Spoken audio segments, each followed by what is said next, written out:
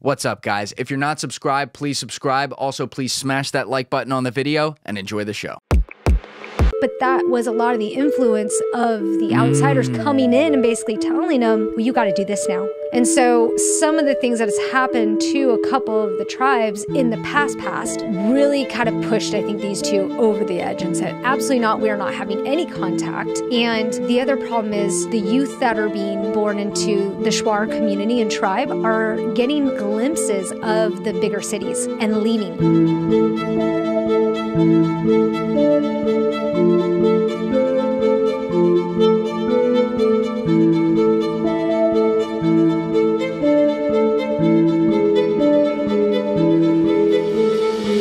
Elle, welcome to New Jersey. Hey, thanks. It's a little different than Florida up here this time of year, so I hope you don't mind like getting one day reprieve from the beautiful 85 degree weather down there. No, that's perfectly okay. When The I, cold, the cold's good for you. it is a little bit. It's more the alkaline side of chemistry. Although someone told me on the plane that it was snowing. No, no, I was it- like, it's definitely not. that's snowing. up in like New York right I now. I would have known if it was snowing. Yeah, that would be a fun landing though. Like if, if it were snowing on the landing, you ever do that before? Oh yeah, uh, yeah. Oh, you were a flight attendant. I was. You definitely did that. in Alaska I could never. in January. oh, what, th- does the plane go like this? Yeah, all the time. There's actually, uh, I believe it's Juneau, where they have to take it uh, at an angle when they land between these two peaks and these mountains. It's a whole trip. Oh no, It's amazing. no, It no. was That amazing. sounds that sounds great. like death. I'm, Yeah. I'm, I'm the kind of guy like when when the plane's coming down like on a clear day and the wings are doing that. I'm like, yo, this is it. This like, is it's it. over. This is how it ends. Make your last text. No, yeah. But weren't you just in in Ecuador too? So you, you went to like the equator. You were you were in the best weather now. You're in Beautiful. Jersey. I'll tell you what, the sun is definitely hotter there. Yeah, it's it- strong. They don't. There's no such thing as a season there, is there? Because it's literally on the equator. So technically, it's winter. That's what they say. That's what they say. And it was chilly in the mornings, sometimes at night, but I think anything under 60 is chilly. Yeah. So, yeah. And what were you doing down there? So I went with uh, the Young Living Foundation. They're the nonprofit side of Young Living Essential Oils, and they work with a ton of different organizations around the world. Whether it's you know human trafficking, you know rescuing people from that. Um, orphanages in Uganda, uh, building homes in Nepal, you know, obviously after their huge earthquake in 2016. So I've been working with them for quite a long time. Also sponsor a young man through school in Ecuador. I've been doing that for about seven years. Oh, wow. Yeah. So That's awesome. Fantastic. And this is one of their first ever missions that they're doing for conservation basically giving back to the earth. And we were there planting uh, Palo Santo, which is a very, very sacred plant to the Ecuadorians and to the world. It creates an oil. It's one of their, it's what they call holy wood or sacred wood. And That's a tree. It's a type it's a of tree, tree. yeah. And it takes, um, it takes about 50 years for the plant to actually grow to maturity to when they harvest it to make it an oil, uh, Mm. essential oil. And, uh, but the Ecuadorians will burn it as an insect repellent and so they'll you'll see it all over the place, just burning everywhere. It's also a spiritual practice for them. So we were there reharvesting this plant because it is on the brink of uh, extinction, to be endangered.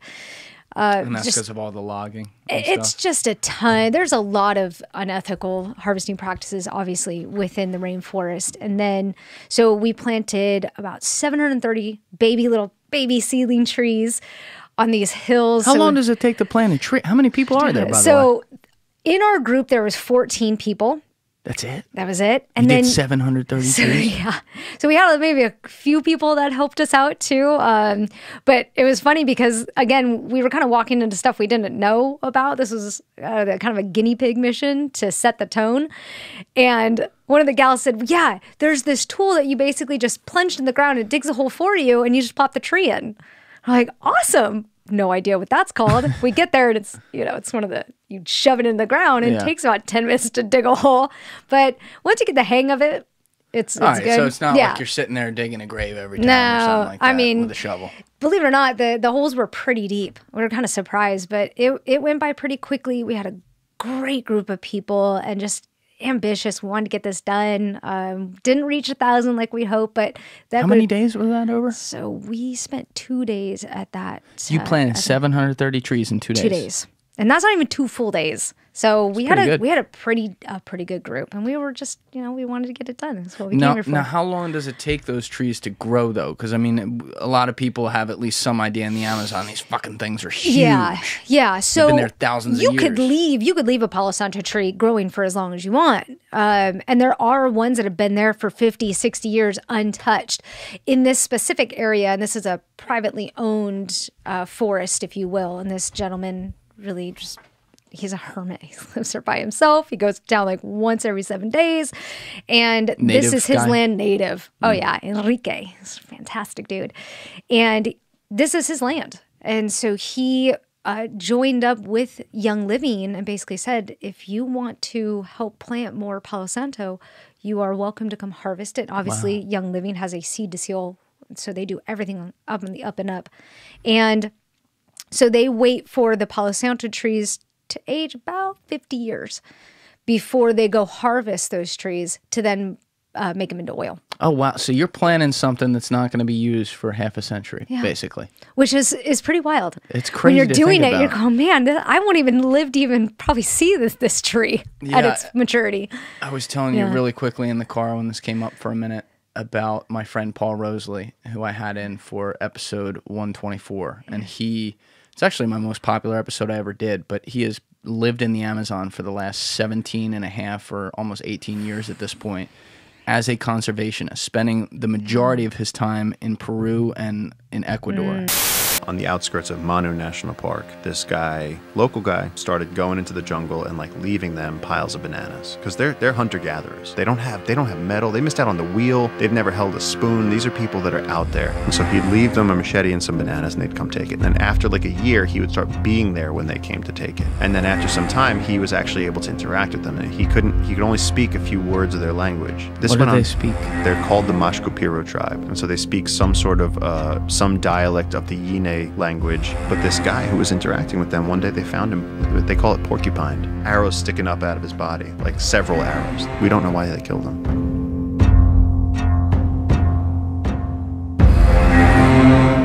and you know the forget the fact that it's like the wild wild west down there Right. and there's so many various countries let's say funding destruction and, and more not just cutting down trees other things as well oh yes, but the amazon itself like i'm obsessed with it at this point and it's basically like it's the key to life. I mean, this thing it, it breathes. It's responsible for twenty percent of the world's oxygen. It is this ecosystem where everything from the from the plants all the way up to the carnivores and everything in between, the insects, they all eat each other. They all end up eating each other. And it sounds like savage in a way, but there's so much there that it's wild to me that people like you or on on an everyday level people like Paul have to go down there and try to help out many of the people who live there who are trying to stop all these others from coming in and destroying this this beautiful arguably the most beautiful spot on planet earth as far as what it offers all of us yeah. It, it. I will say that my experience in the rainforest shocked me. Mm. I mean, I, I really didn't expect myself to feel that good there. And just the air is different, as you said. The I would say the water is different, but you're not supposed to drink any of the water. which I was like, eh, you know, choose your own adventure. Let's see how that goes. Um, you know, you're bathing with a just a bucket of water. You didn't have a shower no shower. We camped for two days. I mean, look, this when I when I do these humanitarian trips, I don't I don't go light. I'm just like, let's get the full experience. So I'm, I I'm from it. Jersey. Yeah. This is where I'm a little different. I'm like, yeah, give me a Hyatt, give me a shower. You know, I'm I'm right there with you, but for some reason, you know, like I I actually dig what Young Living does because they give you that full experience. You know, when I went to Nepal to rebuild homes with them, this was one big army tent and bunk beds, but no beds. They just had thing of wood, plywood, and you hopefully had your sleeping bag and there you go. There's some showers, but they were the uh, instant hots.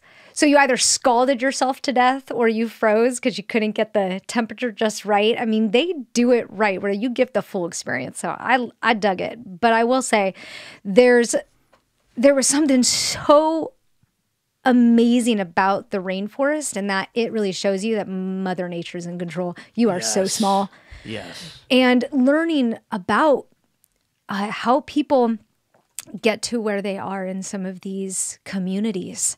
You know, the the mining that's going on there or the old mines that are no longer in use. You're talking I- about the gold miners. and I say that in quotes because I, I, I ask all the questions. You know, I want to know what those buildings are. Why are there people being trucked in from these certain cars and then dropped off with a bag and don't know where they went off into the forest? And these are just people who are working at the mines. But to learn that there was, uh, you know, m- mercury poisoning into the water, so there's a lot of reasons why you don't drink the water and they drink fruit juice and they boil everything so all your juice is warm. It's just a trip. It's just a total trip and absolutely loved every second. It it definitely stretched me out of my comfort zone and I thought I could have dealt with anything after Nepal. So this was How long wild. ago were you in Nepal again? Uh, 2017. Okay. So it was after the 2016 earthquake that pretty much so, pummeled, oh pummeled wow, them. you were there right after. Yeah, yeah. And it was amazing. This is one of their efforts that was really just born out of when the earthquake happened. Gary Young, who's the, the founder of Young Living, who's now uh, passed, when he heard about it, he flew, he was in Japan at the time working on finding, I think, another wolfberry farm, uh, which is a fantastic berry for longevity that the Chinese drink. Um, but he heard about it and he said, "Don't don't take me home. Divert my flight. We're going to go to Nepal, and I want to find out where I can help." And so he chose this village, uh, Yarsa, and they were completely devastated. And he said, "Nope, I'm going to help." And he bought a massive clay brick maker, plopped it down on this hill, and it's at eight thousand feet, you know, whatever, and it's pretty wild. And he he rebuilt these homes and rebuilt and built schools and now a women's center. And so what the foundation has done for those areas is has been pretty amazing. And so it's going to be fun to see where we take this conservation effort because frankly It's different, but it's so important. it's vital. Yeah. Yeah. And like the the thing that a lot of people I know is a misconception I would have never understood, but something Paul explained to me. It's a little different with what you were doing because what, what was the name of that tree again? Palo Santo. Palo Santo. So that's one of the trees that has specific uh, healing substances we can use from it, right? Mm-hmm. Yes. That's what you're saying. Yep. Okay. Yeah. So I'm going to get too lost in the weeds and be way above my pay grade if I start going tree by tree. But with like the general deforestation that is for the logging business where they're not trying to like necessarily extract medicine, but they're trying to just get wood to use for homes or whatever the fuck they use it for. Mm-hmm. A huge misconception is that, oh, you could just replant trees. That is not, as Paul has explained it to me, at all what you can do. So that's not what you guys were doing down there because, you know, these trees are thousands of years old. The the strength of their wood that is built over time is significantly more than a tree that's say 20 years old or something. So if you have for example, someone building a house, like I know one of Paul's donors is like a huge architecture guy, which is great that he's like so into this into this cause. And he's like, you can't build a home with that new wood on those new trees because i he's like, I'll have to redo the foundation inside of a decade because it'll fall apart. Yeah. So what we really have to do, and it certainly counts for all the trees that are for medicinal purposes and things like that, of course. What we really have to do is figure out how to use other means to uh, get our wood sources because we're we're cutting down things that, that can't be replaced because it becomes a battle against time. Absolutely. And th- I think this has a lot to do, just as you said, education, not knowing which tree, how the maturity and the symbiosis of how the rainforest works together. I mean, just to, to walk into it and see that everything is completely connected. You really get to see that in the rainforest. And Yeah. there's trees that I'm surprised are like melons almost. They're just massive trees, and you smack them, they almost bounce back because they're just filled with water. Mm. And and I I really, really emphasize the need for education and looking to the natives. They know almost everything about these trees, everything about each Yeah. plant, but we don't go to them to ask the questions because first of all they're probably not going to be that thrilled about you coming in and, and cutting down their shit anyways wonder right why. so you know there was and that was one of the great experiences that we had uh, when we so we went from that forest to, for you know reforesting palo santo and then drove about five hours to El Quim, and that's further, even further down into the Amazon. I'll put that map in the corner of the screen so people can see where you're yeah, talking about. it's it was pretty it was pretty deep in there, and uh, Elkeem has a one of the I say one of the tribes uh, of the Shuar, and they're like the OG Ecuadorians, Mm. right? And there's there's four tribes within the Shuar, if you will, communities in that tribe that only talk to each other. So only two. They never talk to the outside world. These are people who, if you even Two of the four only talk two to of each the other. four Okay. only talk. They won't talk to anybody on the outside. They you barely even ever see them. They're if you get into their territory, you're dead.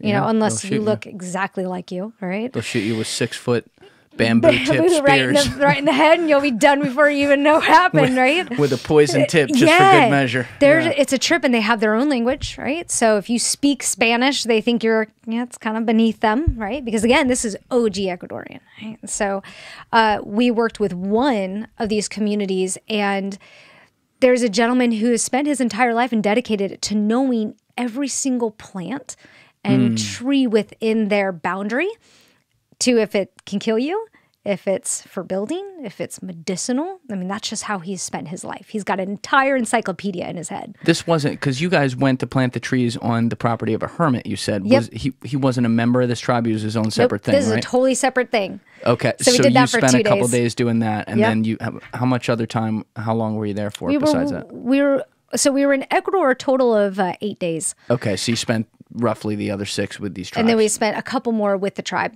and then a lot of it was just traveling. I, I was. Yeah. kind of surprised at how much time we spent traveling, um, and then How'd you get hooked up with the tribe?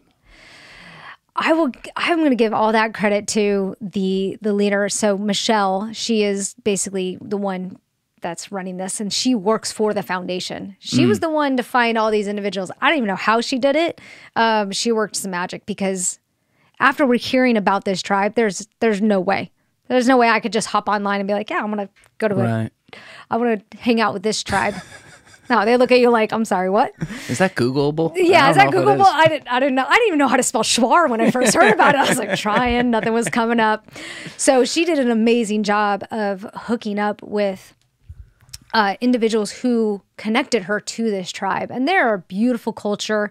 Very excited we were there, just completely welcoming. But like I said, those were two of the you know two of the tribes Yeah, they're the of two four. who They're the to you. two that'll talk to you. The two that want their story known.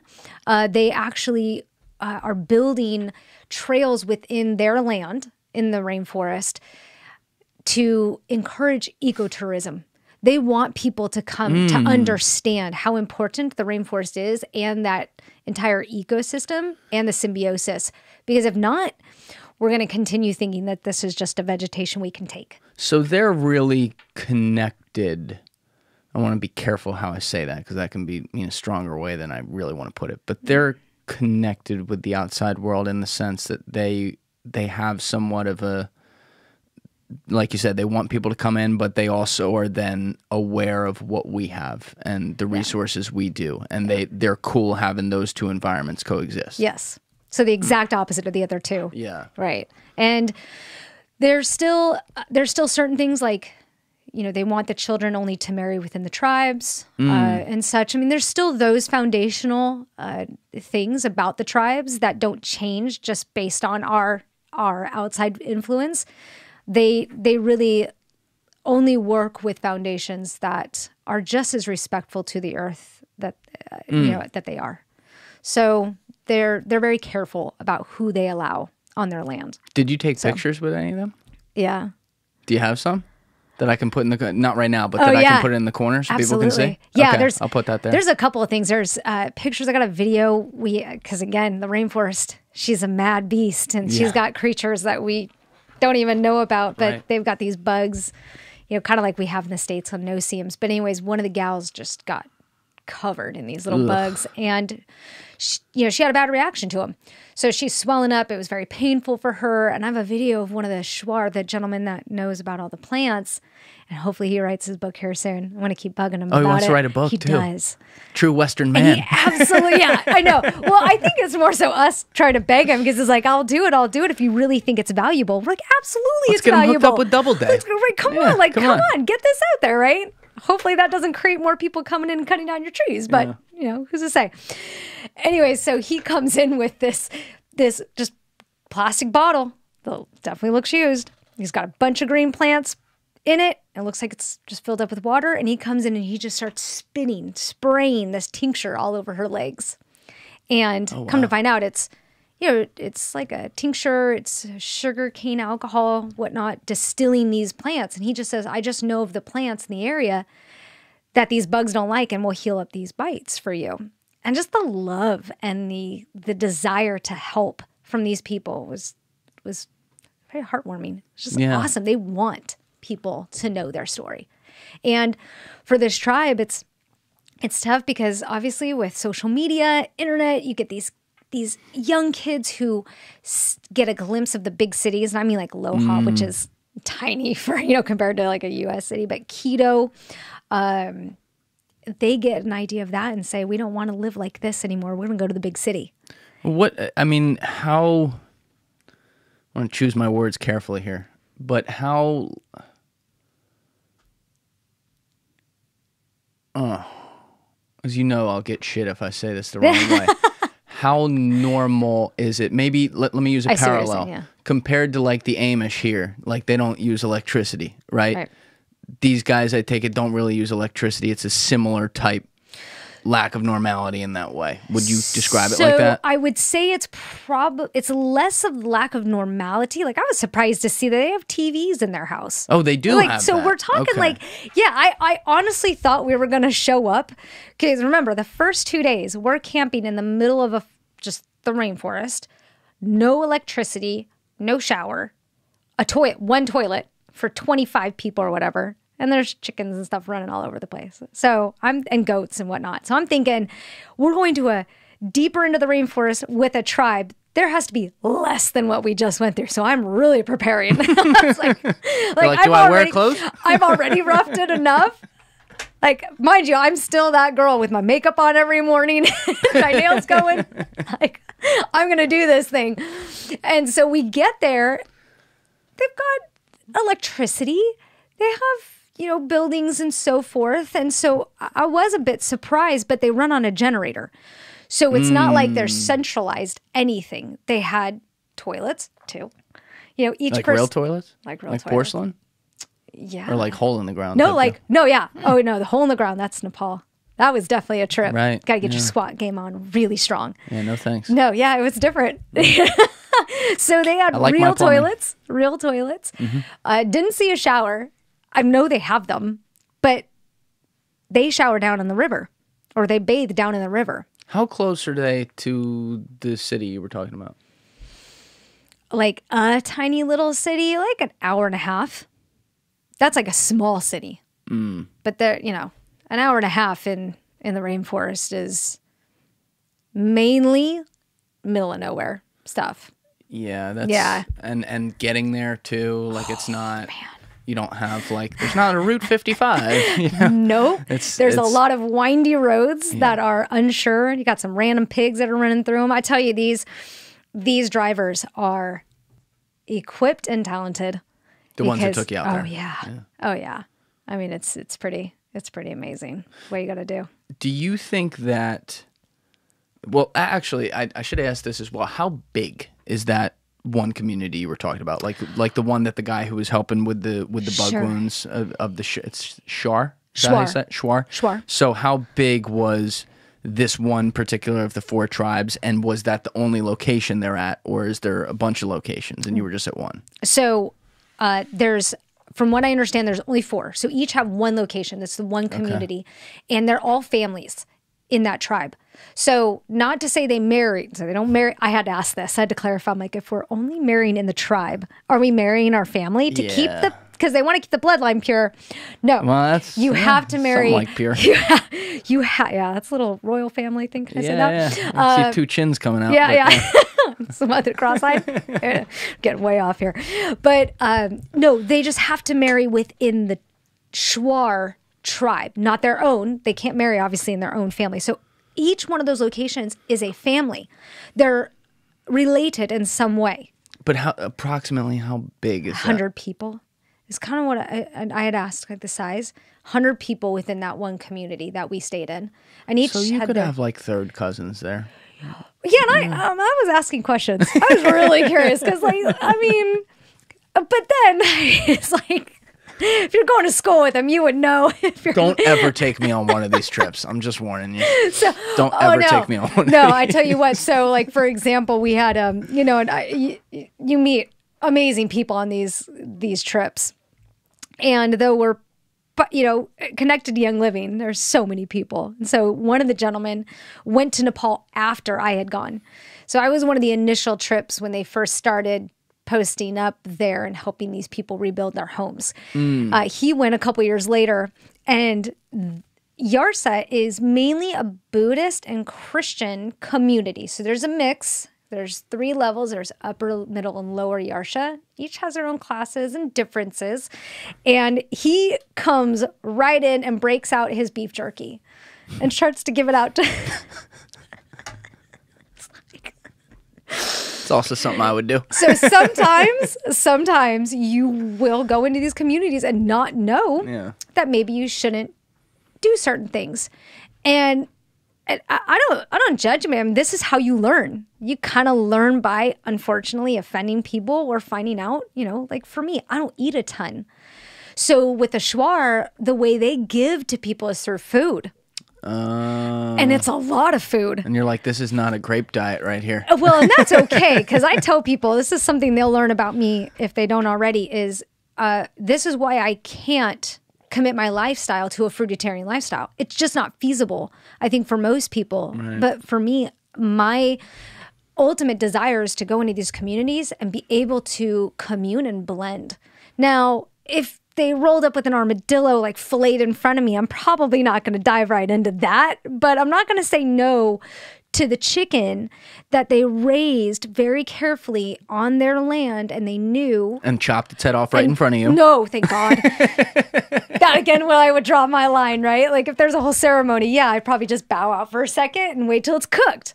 But th- this is why I say it can't ever be a hundred percent on that because this was their love language. And so that was giving of their whole, like they spent time to raise this chicken. They communicated with this chicken, hey, we are literally raising you to feed us. So when they bring this food, you're you're eating. And what I found out is if you don't finish it, that tells them you don't like it. How big are we talking? Like, are they giving you like a full?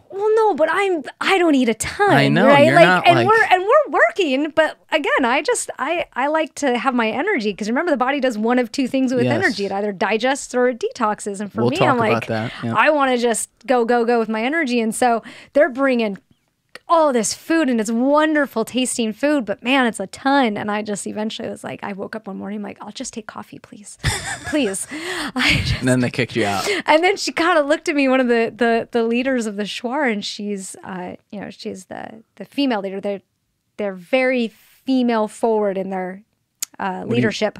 So Mm. more so, they they call the women like the tigers, and the men are the are the snakes. That's how they Oh, I, classify I their gender. like I So that's a little sexism right there. I mean, there there was, but I, they they all get along very well. I I still have yet to fully understand that, but um, they probably don't know what sexism is. Good for them. I mean, they're they got a lot of kids, so Yeah. I know the, the snakes are around somewhere. Um, so, so I love how this is going. this is Keep great. going. Yeah. So, like, I just I did my best to communicate as best as possible. Like, look, it's all very delicious, but I can't eat all of this. I don't even know how you guys consume this, but fantastic. But we did travel with some individuals who were strictly like no meat at all.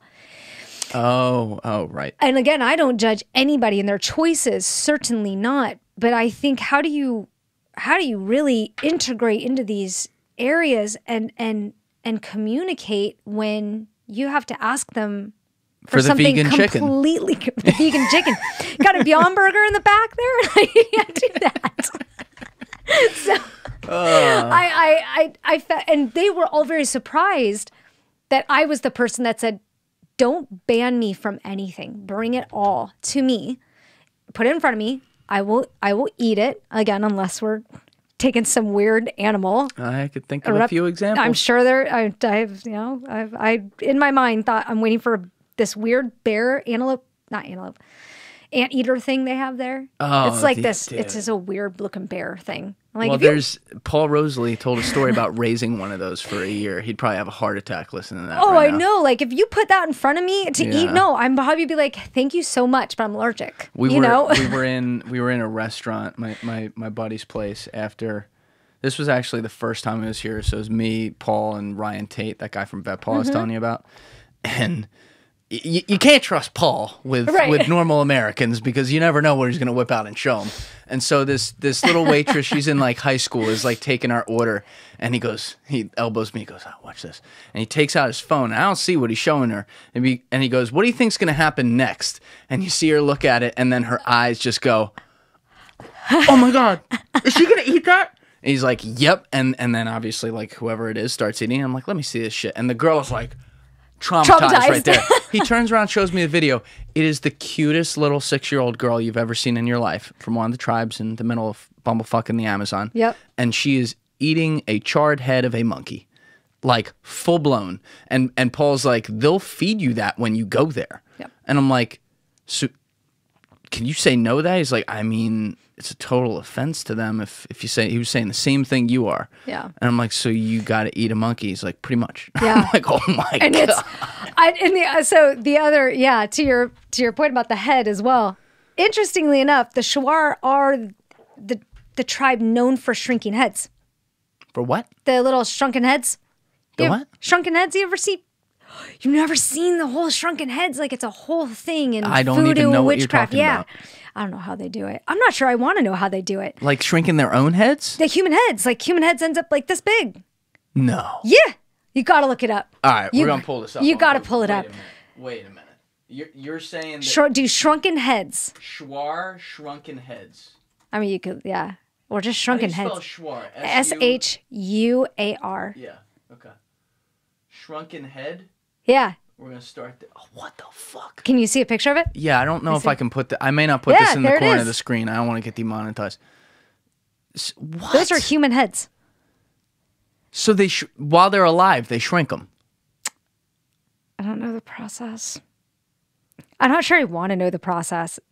So all these people you were talking to had like mini heads and shit. No, these are things they do to people. Now, again, I'm not sure if this is a you were a really bad, bad person. Again, I I haven't dug into this level of voodoo in my life. I stay on the spiritual side of things, but this is a whole thing Oh, so it's after they kill them they shrink. I their believe head and- so. I'm to hope so. That's what I want to believe. Unless this is, again, you are a bad, bad person and they somehow can shrink your head while you're alive. Oh, don't tell the cartels about this. Okay. It's a whole thing. And and they're decorations. Decorations. Yeah, yeah, like a you- fucking lamp. Yeah, you see some people hang them from their car rear view mirror. Real shit. heads. Yeah. The Shuar hanging real heads. I don't, the Shuar, and, uh, the Shuar didn't hang them around. I think the Shuar who do it. They're known for So now, wait, not so there's the like tribe a I'm there's in. like a one eight hundred business where like if you're a tribe and you murk a bunch of people, you take it to the Shuar tribe. Take the Shuar tribe. Drop off your dry clean and your Yeah. fucking human heads and get back a lampshade. Jesus Christ. right? Yeah. If you really didn't like your ex, you just there you go. But uh, not this gonna particular throw up. community. So I think it's the other community. Remember the two that I said don't talk to the outside world? Yeah. I think yeah. oh god. I'm gonna probably the people who tried to cross into their land, but I, I'm again. I'm. St- I mean, we're how many days have I been back in the states now? Uh, it's on my list to research. I'm really curious because they also had, which saddened me, a sloth head. I mean, Sloths are such a nice creature. they're so cute. yeah. Did you know it takes them like 30 days to digest a single piece of lettuce? I mean, they're a sloth. That, that makes sense to Can me. you imagine? It's a long time. yeah. You ever see that video of the guy who saved the little sloth sloth from the road and then hands it to the mom and the mom like reaches back like I'll put that in the corner screen. So it's takes like, a "Oh." year to like reach back and say Thank thank you. you. I'm just like, oh, how could you ever kill that right? thing? So I was a little appalled Yeah. By the I'm knowledge out, I'm of out that. on the sloth thing. on the sloth thing, but yeah. I mean, this is a whole different a whole different world. So I realized again, I'm not only dealing with nature, Mother Nature, I'm dealing with a whole tribe of badasses. So the the Shuar though has the four tribes. You said the one you were with was around hundred people. So Yeah. let's just keep the math honest. Let's say the other ones are hundred to two hundred people, whatever it is. Yeah. So these are just the most ancient. This is the most ancient tribe of Ecuador. There's a very small community of it left. Within Right. those four, two of them don't talk to the outside world, but they do talk to the other two, obviously. Yes. So it's not they're not a pure uncontacted tribe. Like we know who they are, we know what they look like. Just don't fucking go near them. just don't go near them, right? Um, and again, they're marrying only within the tribe, but they're the the I think one of the driving factors what I found out is the reason some of the some of the reasons other than the fact that they're you know killing and shrinking heads and shit um, they're just preserving their their identity um, because is the um, white man as if you will uh, came in and basically to the individuals who the tribes that said, "Yeah, come on in," just you know, like the ones we're dealing with. Yeah, come on in. You know, sleep on our land, teach us all your things. Well, it turned them Catholic and basically told them, "Now you gotta, now you gotta be Catholic." So they got this Catholic church, and I'm sure I'm gonna get fried for this as well. But they got this church that's unused. There's no way it's being used. There's just dust everywhere. But that was a lot of the influence of the outsiders coming in and mm. basically telling them, well, you got to do this now. And so some of the things that has happened to a couple of the tribes in the past past Yes, they pass it from down. from white man, you know, Yes. influence really kind of pushed I think these two over the edge and said absolutely not we are not having any contact and the other problem is you the the youth that are being you know born into the the Shuar community and tribe are getting glimpses of the bigger cities and leaving they're not marrying within the tribe. They're not a- acknowledging their they don't want to live like this anymore. Even though it's not horrible they want to live in the big city. It's like someone from you know the the bible belt going into Yeah. la and they just never come back. They get lost in drugs. They they marry outside of the tribe. And so they are slowly but sure surely dwindling in their numbers. And so And they're they- yeah. concerned. Yeah, well, they probably, in all honesty, like it probably they, it will die off. But yeah you know, Ecuador is on the farthest outskirt of the rainforest. yeah The deeper you go, it's a big rainforest, people. it's a big rainforest It's basically like they're LA, and guess what? There is like a De- Detroit's a bad example, but there is Yeah, like a. that's sorry, I mean, we're got talking about shrunken heads, and maybe, whatever. but yeah. But the, you know, there's like a Kansas City in there too. You know, Yeah. you gotta go real deep, and no one's ever seen the people in Kansas City. Like those are the true. We don't like the Brazilian government, for example, which I believe has the most real estate worth within their borders of the rainforest. Like Mm-hmm. they have estimates of the number of people that could be in these tribes. They have no Yeah. idea. They have no, and people that go there don't come back. Right. They kill them. They, I don't know what the fuck They they, do, but they, to your point, yeah, they pass it down for centuries and centuries things that have happened. And i listen i don't blame them either if you were if people from another place came in there and did some of the things that you know conquistadors tried to do to some of these people Yeah. you'd pass that down too Yeah. and they don't operate under a law system like we do they got their own legal system and Yeah. you know that's that's like i want to have respect for that if you know what i mean but it's a wild thing that like even you could go 90 minutes off the beaten path just that Oh, in ecuador and you're in this whole new world and there's like yeah there's two people there's two tribes over there don't fucking go near. Right. that's crazy Yeah. And and and like I said, I this is just my initial introduction into one, this tribe, two, Ecuador. You know, I've I've gone to Argentina and different places, and there's nothing quite like what I experienced in the depths of the rainforest. And I'm not even scratching the surface yet. But I got to ask what I could, and I knew that I was building that trust because I fully plan on going back.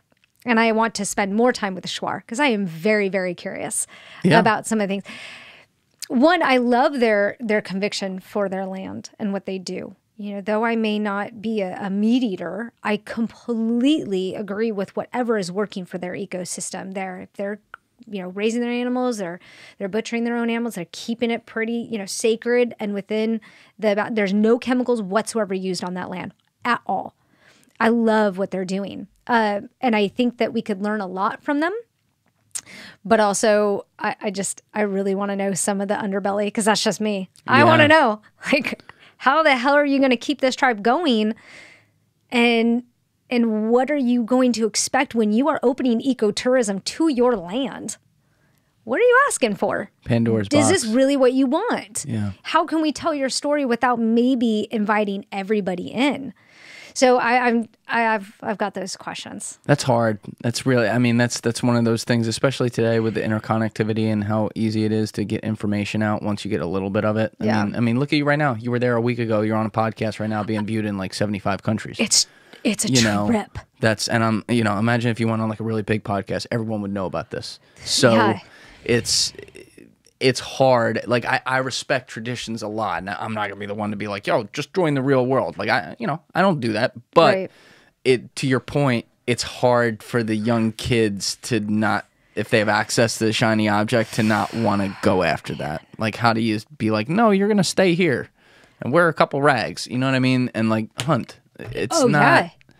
You know, and no disrespect to that. It's just there's other things in the world. Right. And they're recognizing that. They see that and I'm I'm really curious to understand what that conversation is like. Because when I met the young young kids, they seem to love their culture. I mean, they came out, did a Yeah. whole dance for us and ceremony and everything and they they love outsiders. They want them to come in and dance them and have a great time. But I would love to understand what is that conversation you're having with these youngsters when they do get a hold of this phone.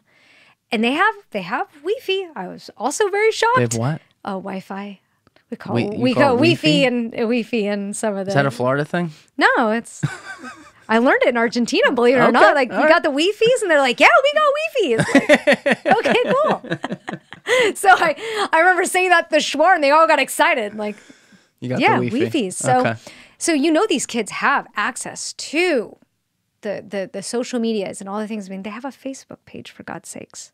The I was Shuar do. shocked. The Shuar have a Facebook page. They do. I think there's about 50 people following it. We got to get them on We Twitter. got- We got to get them on Twitter. I need to see them tweeting out their thoughts. Like, just killed a few chickens, cooking dinner. I was shocked. I go, what do you mean they have a Facebook page? They're like, yeah, you gotta you gotta like it so you get more likes. Where are we? Why are we doing this?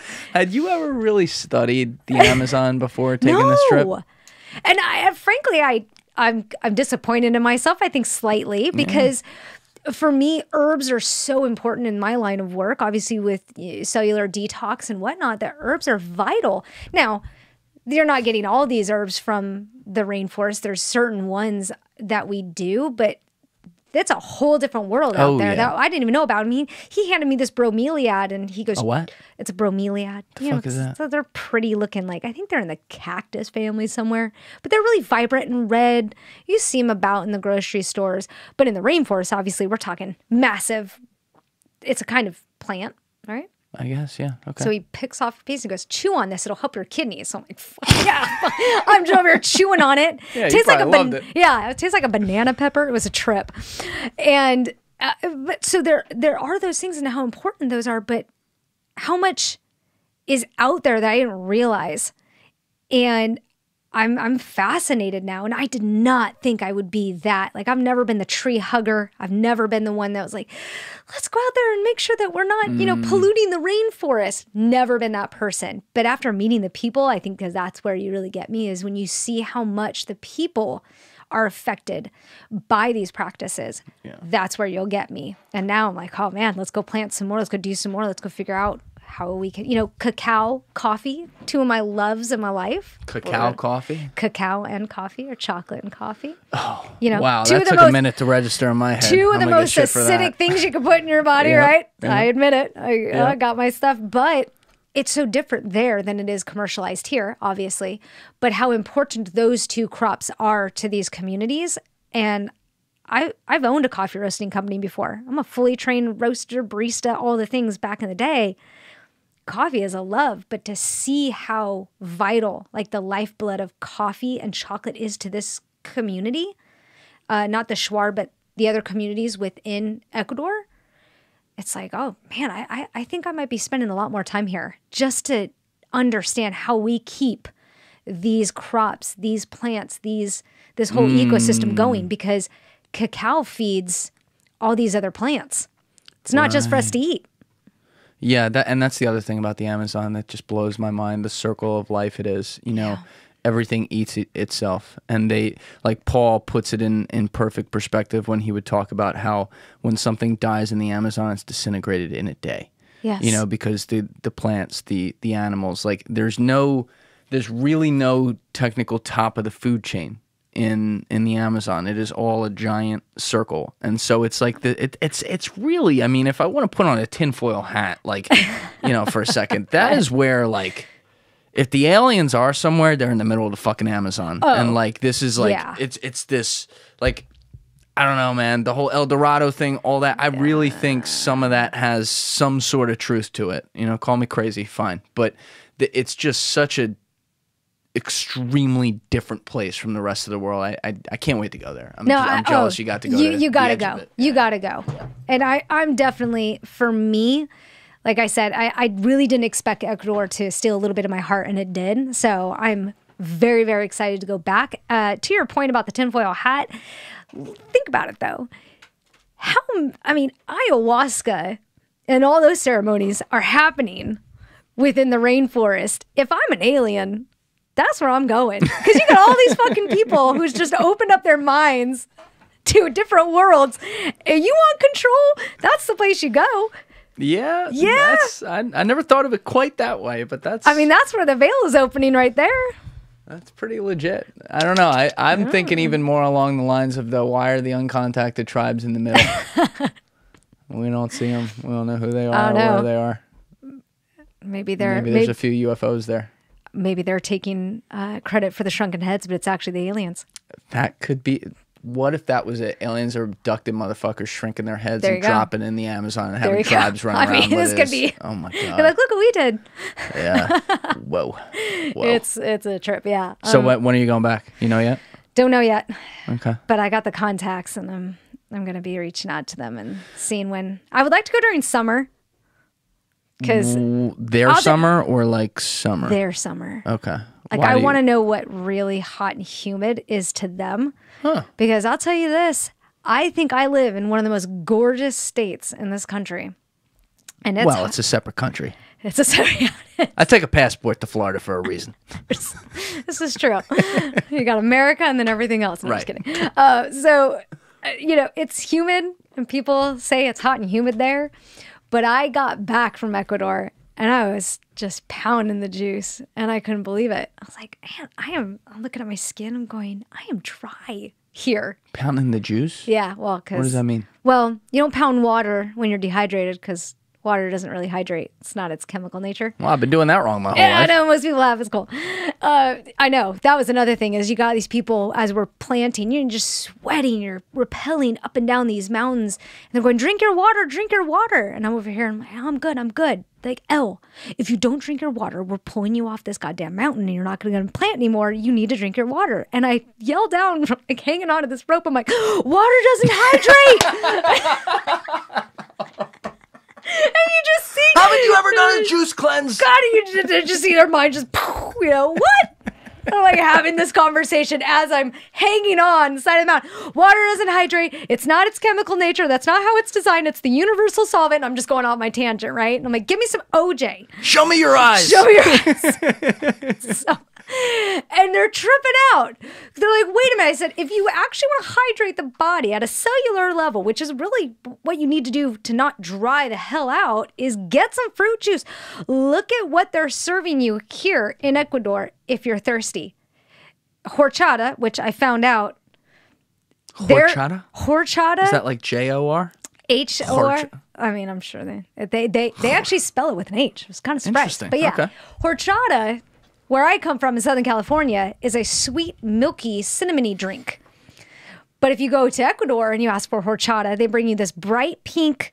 It's just this herbal aqua fresca, basically. Mm. So totally different. Did not expect that, but that's what they bring you to drink is fruit, herbs. That's what hydrates the body. Right Go figure. Right up my alley. I was like, I'm home. This is fantastic. You said you were you were what is it? Repelling? Yeah. Rappelling down mountains? I don't know. Is it repelling? I have no fucking idea. Do I look like I went I mountain climbing just- recently? First of all, I was not aware we were going to be doing that. we don't have mountains in New Jersey, but what, Uh, no, we don't where? have mountains, Florida either. So there's mountains out there because you talk about the rainforest and everything, but Yeah. then were you outside of it? I guess too. yes. So in the forest that so Palo Santo likes hills. It actually likes incline because it grows sideways. It's a trip. You actually have to point it in a certain direction when you plant it because it grows outward. How do you spell it? P O L Y. P A L O Palo. Palo. Palo Santo. Fuck that up. Yeah. Palo Santo. Work on your Spanish now. Yeah. I don't even know what I said Said- out loud because yeah. I can't hear it in the in the thing. It fucks up my yeah, voice. so it's a. Palo Santo. So, Okay. like for example, you see, I'll put this in the corner Yeah, of the yeah. screen for people. so like this guy right oh, there. Oh shit. Yeah, so they eventually grow sideways. So you got to point them in the right direction. Now, mind you, eventually they they intertwine with everything else because that's just how the rainforest is. But um, they want hills. They like incline. They like hills. So that's where we were planting, and that's where it likes to grow best. So that's where we were. And then we went deeper into the rainforest, and then it got flat. Got it. Yeah. Okay. I'm so jealous. That sounds awesome. Oh, it was so cool. I'm glad we took that tangent to start this whole thing It's off. Amazing. very, very you got to do it. You got. Yeah. I'm, I'm. Just figuring out like how do I get back there? I don't have to wait for another Well, let's mission talk to trip. Paul. I just want to go back. Let's talk to Paul. No, I don't want to die. It's not a guarantee with him. but you know, he might take you to more safer places. I mean, they're sitting here telling me not to drink the water because you could get sick. I'm thinking, I'm sleeping with my white noise on because I don't want to hear what's getting eaten 15 Right. feet away from me. he just sleeps right next to the jaguar, so no, you gotta, see, yeah, you gotta be careful with Yeah, that. yeah. But I feel like you know he could probably clean it up with you know if he had like a just- dignified person down there. Yeah, I just don't really. I, I I can deal with a lot of things. You know, like people send me picture of their worms and their shit and stuff like that. That's fine. Do not put me in front of creatures that I feel could eat me. Just don't do it. I'll talk to him about that. We'll, we'll see if we Can can we do something. yeah. But yeah, I was. T- I, I won't keep going on about his shit. But I, I think he'd be really, really interested in that'd what he does. That'd be cool. Oh, I did forget to ask this because you hmm. mentioned this real fast. Yes. I think early in this podcast, and I think you said something in the car. But you were learning about the gold miners and stuff down there too. Yes. What did you hear about that? So, according to some of the so some of the drivers, obviously been driving around a long time. One of the gentlemen actually worked in one of the gold mines, and they said it's just hmm. kind of, you know, you're young, you want money, It's a job. it's a job, so you go work. And I asked, well, who owns these mines? And he goes, mainly Canadians. Hmm. I said, interesting. So the Canadians own most of these mines, and they said yes. It's okay. How many how many of these mines are actually functioning still to this day? And they said only the ones that aren't poisoning the water. And I said, well, I, I don't understand. They said, well, uh, unfortunately, they go and they dig away because gold is everywhere in those mountains. Which I was like, all right, party favors. And he's like, Fucking out there. I mean, we're close. Like, can we just take a drive really quickly? Like, it's right there. We can just grab a little chunk and we're good. Call me a miner. Right? Just uh, fantastic. And they said that so many times they just go haphazardly into them and they hit mercury and mercury just goes straight into the water. Because you just you see how much if, you'll you'll see it when you go there, but all these waterfalls. So there's just constant flow of water within the rainforest. It's beautiful. So it doesn't take much to poison the water if you strike incorrectly. And they were hitting a lot of mercury. And so they said there's uh, two active ones, at least in the community we were driving through, which was this treacherous road uh, to the Elkeem uh, area. And they said there's only two there that were active. But I'm, of course, you know, as I can try to look through the trees as we're driving and just taking a look at it, it's very unassuming. You would never know there's a mine there. it's they- not like that elaborate movie that they've got all the, you know, cranes and everything. No, it doesn't look anything like that. It's a building with maybe a ladder down there and maybe one more building, and the rest you just can't see. Did they talk about the wild, wild west nature of the miners themselves at all? And No. what they do when people sometimes cross them? Not all of them, some of them. Well, so I asked because again, I was asking very few questions before I was maybe getting into territory that I shouldn't, and I can only hold my own so far with Spanish before I gotta grab someone to ask them to get involved and start, you know, uh, translating for me.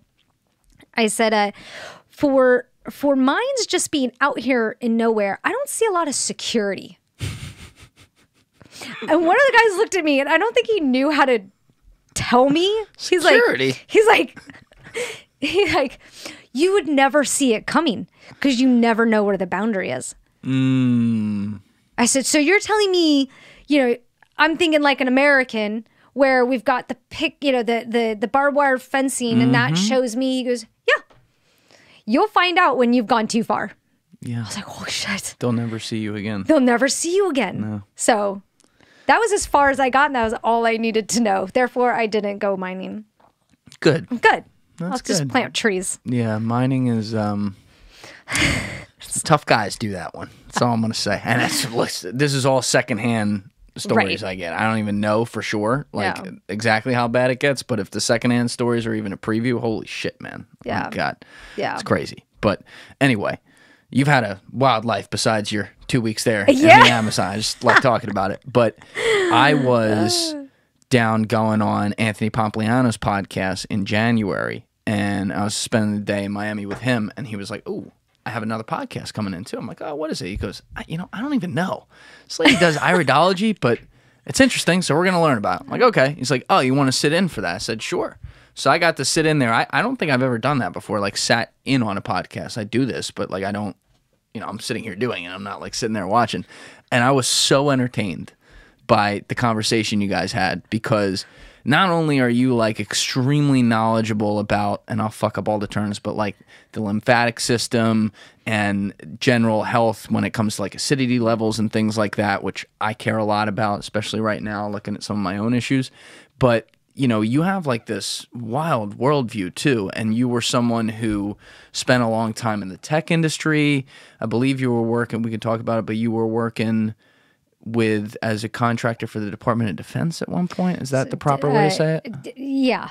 Basically, I was a liaison Okay. between the big tech and yeah. Well, actually, why don't We'll we? with that. Why, why don't Yeah. Why don't we start there? Why don't we start before you got to like Yeah. iridology? Because people are like iridology. What the fuck is that? We'll get there. It's very very interesting. But before you got there and and focused on everything you're doing now, how did you like? What did you do out in Silicon Valley? What was what was your job role? and Where'd you start? So uh, I first started off just I think any peon in the in the big tech world as uh, an assistant. I worked with a startup company who created a software that it was on Excel as a base. It was horrible. I would go in on Saturdays to help break it, all right, just to test it. But it tracked uh, pretty much every dollar that went in and out of uh, California school systems or schools when it came to their construction. So, as we know, California is extremely particular about all their reporting for taxes and dollars, especially education. Say that to be kind. and they are uh, they want everything in what they call a crystal report. I mean, this was mind you, this was way back when, so I'm sure it's something totally different now. Now it's in the cloud somewhere and doing some AI, but I first started there, and I knew right off the bat after college, I'm like, I want to make money, and I know tech is going to be it. I was that kid that was constantly troubleshooting computers in the class for my teacher in fourth grade. Mm. I had never, I didn't have, I had the old school Mac, you know, dinosaur back in the day. And I just was fascinated by technology. And so I knew that one, I wanted to make money. I played golf in college, which was a blast. Oh, you did? Yeah, I played competitive golf, which is great. However, I was like, well, I could go make money doing this, but I have to be really good at school. And I hate school. I hated Mm. it. I was that C student, just in that meaty curve of mediocre. I feel like you were the person that just didn't like sitting down in the classroom hated with it. the structure. No, I wanted to make Right. friends with everybody. Every single one of my reports was Elle just continues to talk too much. She makes friends with every single person I try to move her next to Right. to stop talking. No, yeah. I was Yeah, like, because you, like you're very very smart. Yeah, It's joke's not- on you, that's, teacher. That's not the issue. I like so I couldn't stand school. So I really loved golf and I loved the aspect of, you know, competitive uh, collegiate sports, but I couldn't stand school. I mean, I was falling asleep inside math class, which I wasn't really already inclined to math anyways. Numbers are hard. And so getting me up and having me practice early in the morning, I'm falling asleep in class. And so I just said, you know, I, I think I'm I'm I'm smart enough I'm I'm interested enough in tech, and I like sales because I like people, I like talking a lot. Hmm. So I'm going to go into tech sales. This will be fantastic. and I moved up very quickly, I mean, I Mm. did not, I'll admit, I did not finish college because I just couldn't wait to make money. I couldn't wait to get out in front of people and do this thing. So, right off the bat, I'm working in this startup. I left the startup, started working for a software company, which was not a household name at the time. It was a backup Commvault, uh, Mm-hmm. which now is household. You're welcome, everybody, for all those cold calls. Uh, but so, you know, uh, headquartered, you know, in Jersey and such. And so, I, I started there and kept moving up just as sales, inside sales. Then I went into territory sales. And I was doing really well for as young as I was. So I made my first, I think, six figures at 24 years old. Oh wow. I'm single gal, no big deal. I was in a relationship at the time, but not married, not kids. I was just like, man, I You're could just- balling. I'm balling. I can continue making money and having fun. Took a step back from that because I really wanted to help people. And that's just how I was raised to continue giving back and giving back. And I just thought, I'm just packing my bank account. I'm not helping anybody. I'm having a great time. But I went a little extreme. And that's how I knew to do things is basically like I'd clean slate and go start something new. I always burn shit down and go start something. That was just my nature in the past. And so I quit and left my relationship, left a great paying job that I was up for a promotion. How old are you at this point? I was 20, uh, going on 26. Okay. So I am, I was like on trajectory. And the VP is like, You're doing what? You're leaving what? And at the time, um, I, I don't think I've ever even said this to her, but so the, the gal that I was dating at the time, I was up to be promoted to replace her. But he, he hadn't told her that yet. I, of course, did not know. Oh, you were shitting where you eat too. no. uh, So here's the thing. whoa, whoa, whoa. no? Let's back this up for a second. so um, when we got together, I was I was not. I mean, I was still at the startup. I mean, I wasn't looking to get into the company, but like, why not? You know, it was a great company at the time. She was working there, so I got into the company, and this was not even a an issue. I thought you dated cops. This That is not later. a cop. Okay. All right. So you got into cops That was later. Okay. Oh, yeah. Got it. I was still working on the, you know, the light, you know, Right. just kind of Business suit, casual. yeah, business suit Right, casual, and then I went into like the dark cops type of Right. thing. So I had my Okay. phases, and so, so um, and that kind of scared me a little bit. I think that that was also like, no, no, no. I, I, even though we're not together, like I respect this person. I'm kind of glad I'm leaving because even though I wanted that position, I didn't want her position. I didn't want to put her out of work. I mean, she'd been doing this way longer. I mean, she was 16 years older than me, so. I also Oh, liked him. A, shit. I also liked him a little older. I guess that. Yeah, Okay. so there's that. Uh, so also that wouldn't have gone over well. Hey, babe, I'm 16 years younger than you, and I'm taking your job, and I've been in this industry for three years. Like it wasn't going to go well. So I, I just like I said, I clean slate, uh, and I and I said I just want to travel and I want to help people, and so I became a flight attendant.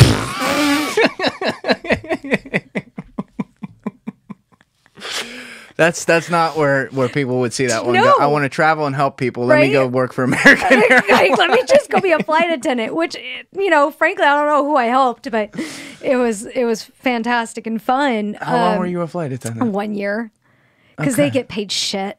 Yeah. Oh, I- money's I- not the same. And and thing was, is money was never like a big thing for me until it was, Mm. till it was not there anymore, and I was like, oh, I'm working twice as hard yeah. at being a flight attendant for a fraction. Uh, I mean, maybe 30k, maybe, yeah. and I'm making six feet. Okay, so it's a it hard was job too. it was hard. Uh, Dealing with all kinds of personalities all the time. I mean, I loved that part though. I'm crazy. I, I love people. like, tell me all your s- crazy stories, and I loved it. I I felt like every single time I had 100 to 150 people locked in a tube in the middle of the air, and they were mine for hours. I loved well, it. Well, that sounds like the beginning of a horror movie. Yeah, absolutely. Okay. This, is how horror movies start.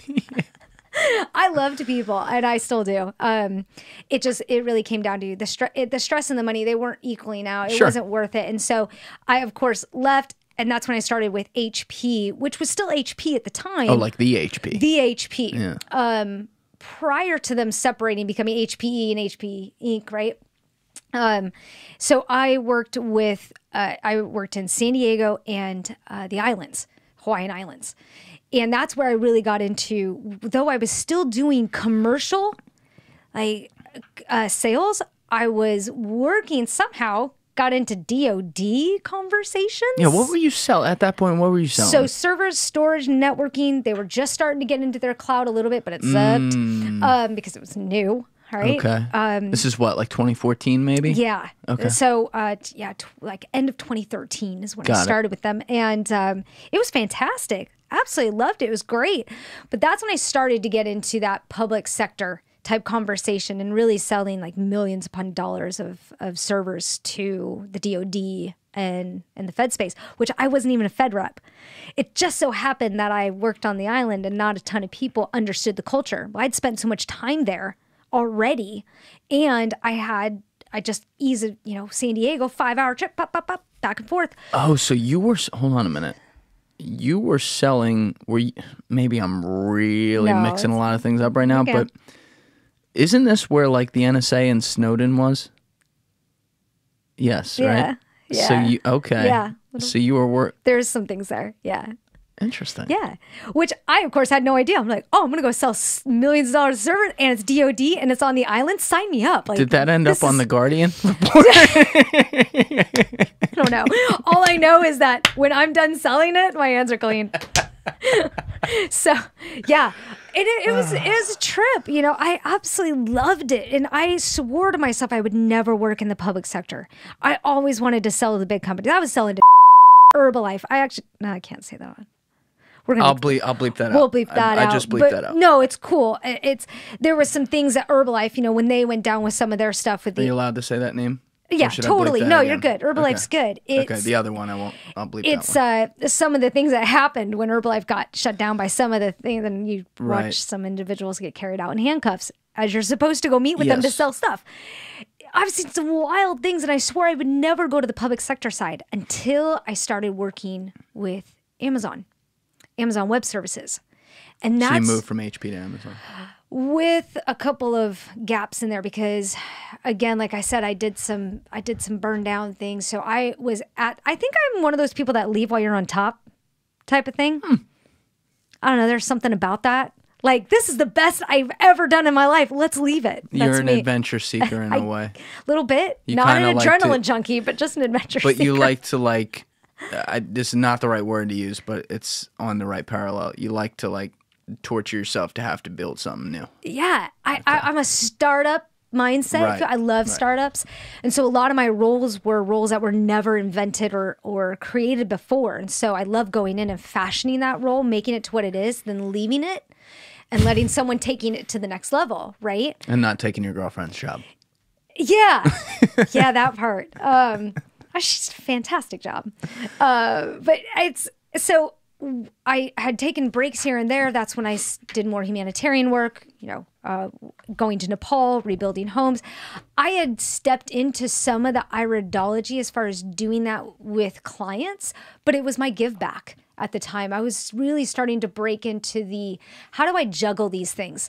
How do i be the corporate saleswoman and you know, total badass in the boardroom, but then helping humanity on this side. So I was really leaning into a lot of that humanitarian give back to the world effort at the time.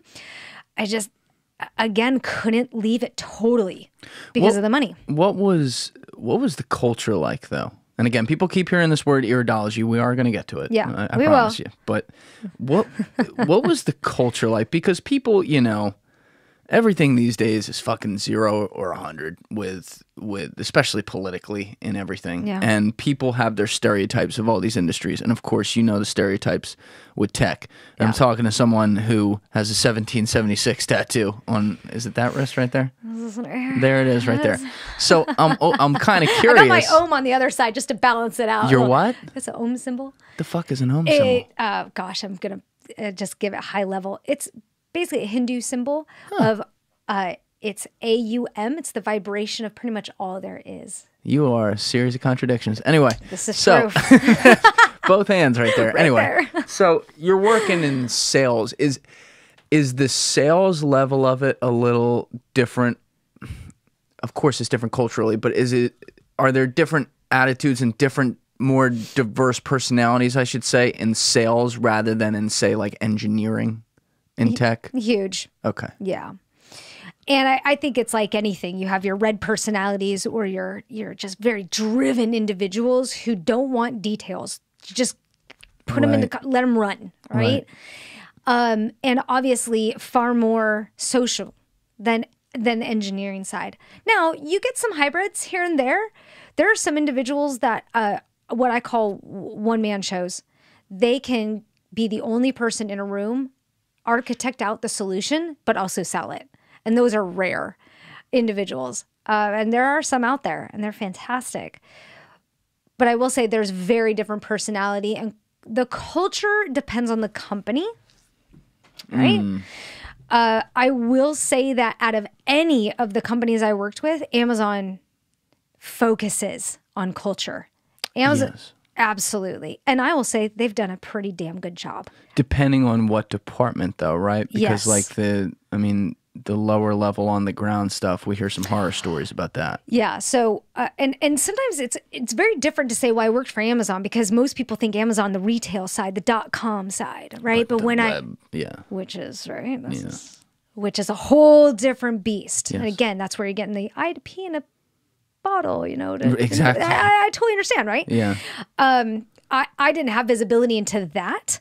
I'll tell you something here in a second, though. That's a trip. I've never actually told anybody this. You were all AWS, right? I was all AWS, Got which is the money making side of Amazon, right? Which people don't think about. But people don't is- think about. So when I tell people. I work for AWS, unless you're in the tech world, you have no idea what I'm saying. Or maybe you watch a lot of NFL and then you're like, oh yeah, I saw that on the commercial. Right. Yeah. Mm-hmm. So when I say, well, Amazon's tech company, still don't know. How about cloud? Mm, I didn't know they had a cloud. So there's still a lot of this mysticism around AWS for the majority of society. They don't know Amazon's way deep in data and cloud and AI and all the other things. don't even touch the Alexa part of this whole thing. I won't ever have one in my house, by the way. Up, bookmark that. We'll come back to that. Yeah, Continue yeah. though. No Alexas in the house. Okay. so, um, but it's the the culture. Going back to your, question, it it is very focused on there, and I loved it. I loved the culture at Amazon or AWS, if you will. Um, I, I I felt I got most of my growth in my career at Amazon at AWS. Um, and AWS was the only role I've ever had that was 100% public sector. I didn't work with any private companies at all. And it was a trip because I swore I'd never do it because I didn't want any of the bureaucracy. I didn't want the contracts, the bids, the RFPs, the you name it. I'm just constant shit that the government has to go through to spend a dollar. How dirty is that world? there is there is an underbelly to it that I feel most people and I only scratch the surface of it. I mean, just like all of us, we think that maybe we know the depth of some of the things the government does. The information we're given is still so surface level. I mean, there's conversations and handshaking that's happening beyond anything I ever got to see. But some of the conversations I was involved in, especially during the pandemic, were the challenging ones for me. This is where I really had to balance the two sides of myself is I'm hearing conversations that go against me as a patriot and our mm. freedoms. But yet I understand their driving Yes. motive for it. Their intention is to help. Their intention is to do good and and really benefit society, but I think we're actually damaging it. Yes. And so there were times where I'd get off the the calls and I'd I'd immediately go take a shower. I was just like, I feel fucking dirty. I So- feel wrong, and I feel like a hypocrite because I'm a patriot. I know that there's some things like eh, you can't go into details on some things because that's obviously confidential towards business. But on a generalized level, are we talking about, say, some privacy concerns with what we allow governments to have access to, pretty much? Yeah, Uh, and no questions asked, just gonna take it. Yeah. Now, how do you, but from your end, now it's not like you're the CEO, so, but you're a high level employee there, so you're reporting to people who make final decisions and have that. How much of that, even from what you could see from their seats, like, you know, the Bezos type seat or whatever, or the C level type seat, how much of that did you feel like was a you're going to do this or we're shutting you down versus hey we want to do the work with you and if you don't do this we're going to do the work with someone else but best of luck to you meaning like no threat you, you Oh, see I what i'm what saying you're saying. Um, and just to be clear, are we talking about how we're speaking to the agencies, the government agencies Sure. that we're working with? yeah i meant it gen- just there general wasn't a government in lot. I will- I will say this: there's those conversations. I believe are happening. They're at a very high, high level. Beyond those of us who are, of course, what they would consider peons, we're just out there architecting solutions. But I was one of those individuals that I wanted to get involved in what was being built. Like whether it was at, you know, the state level of California, which that's where some of my scariest conversations I was having um, and scared me as a, at the time a California resident. Um, and then there were things that were happening at like the sheriff level, things that we were creating to help further safety, public safety, and justice. And there was no strong arming. There's high encouragement. I wouldn't say I saw any of the kickbacks. high encouragement sorry that just that just hit the top level for me Yeah. okay There's high encouragement, High encouragement. To, to, to use this. And, but I, I never saw any super dirty play. But I will say that that comes down to the culture. The people Amazon hires, at least what I experienced, are some of the most high character of individuals. I really, really felt like I was surrounded by a good group of people who meant well. Whether they realized what they were building Yes. is different. Yes. Now, on that note, though, like you buried the lead with the Alexa thing there. Yeah. Why? Why don't you have an Alexa in your house? because they are listening to everything. Everything. How is this discussed internally? Like, are they? Is there ever like a moment of silence where it's like, oh shit, or is it just like, oh yeah, we're just getting data so that people we know everything people are doing? the intention is to help. The intention is to benefit society, right? The benefit to make sure that if we overhear an argument happening inside a home, that we call the cops for them. Oh no! Wait so there's a minute. little minority reportish type of thing there. But again, remember when I said this is the intention to do good, the intention to help society. But the problem is, is we break privacy. Now, I'm one of the individuals that I've been in abusive relationships before in the past. I'm that stupid idiot that kept going through the door and volunteering myself to this situation so I understand what it's like to be in that, but would I have wanted someone to call the cops for me or to intervene? No. Well, actually, let me play devil's advocate though. Even if you did, this is where the bigger constitution picture comes into me. And trust me, they you know, there's mistakes made in the constitution. That's why we have amendments and there's things you can look at for sure. But when it comes to some of the core tenets, the right to privacy, the right to free speech, the the the right to uh, untied media to be able to report on things. Yeah. Things like this even when things go haywire in some ways and we start to question it, that's like the test of questioning it because it's like, well, you got to look at the biggest picture. I know there's a big picture that bothers you, but what's the biggest picture of all? And when I start hearing things like a machine can start to determine where an argument's going too far. Hmm. Well, whether it's the machine or the person listening. Now, how many people? How many pe- people do they have listening? Because there's a I- billion. There's eight billion I people in the world. I honestly couldn't tell you. I really, but I will say this. My, if I put that tinfoil hat on, yeah. what's one of the portions of Amazon that went completely down and they fired everybody? That's the Alexa area. I don't Wait, wait, what? I don't know so anything uh, about that. so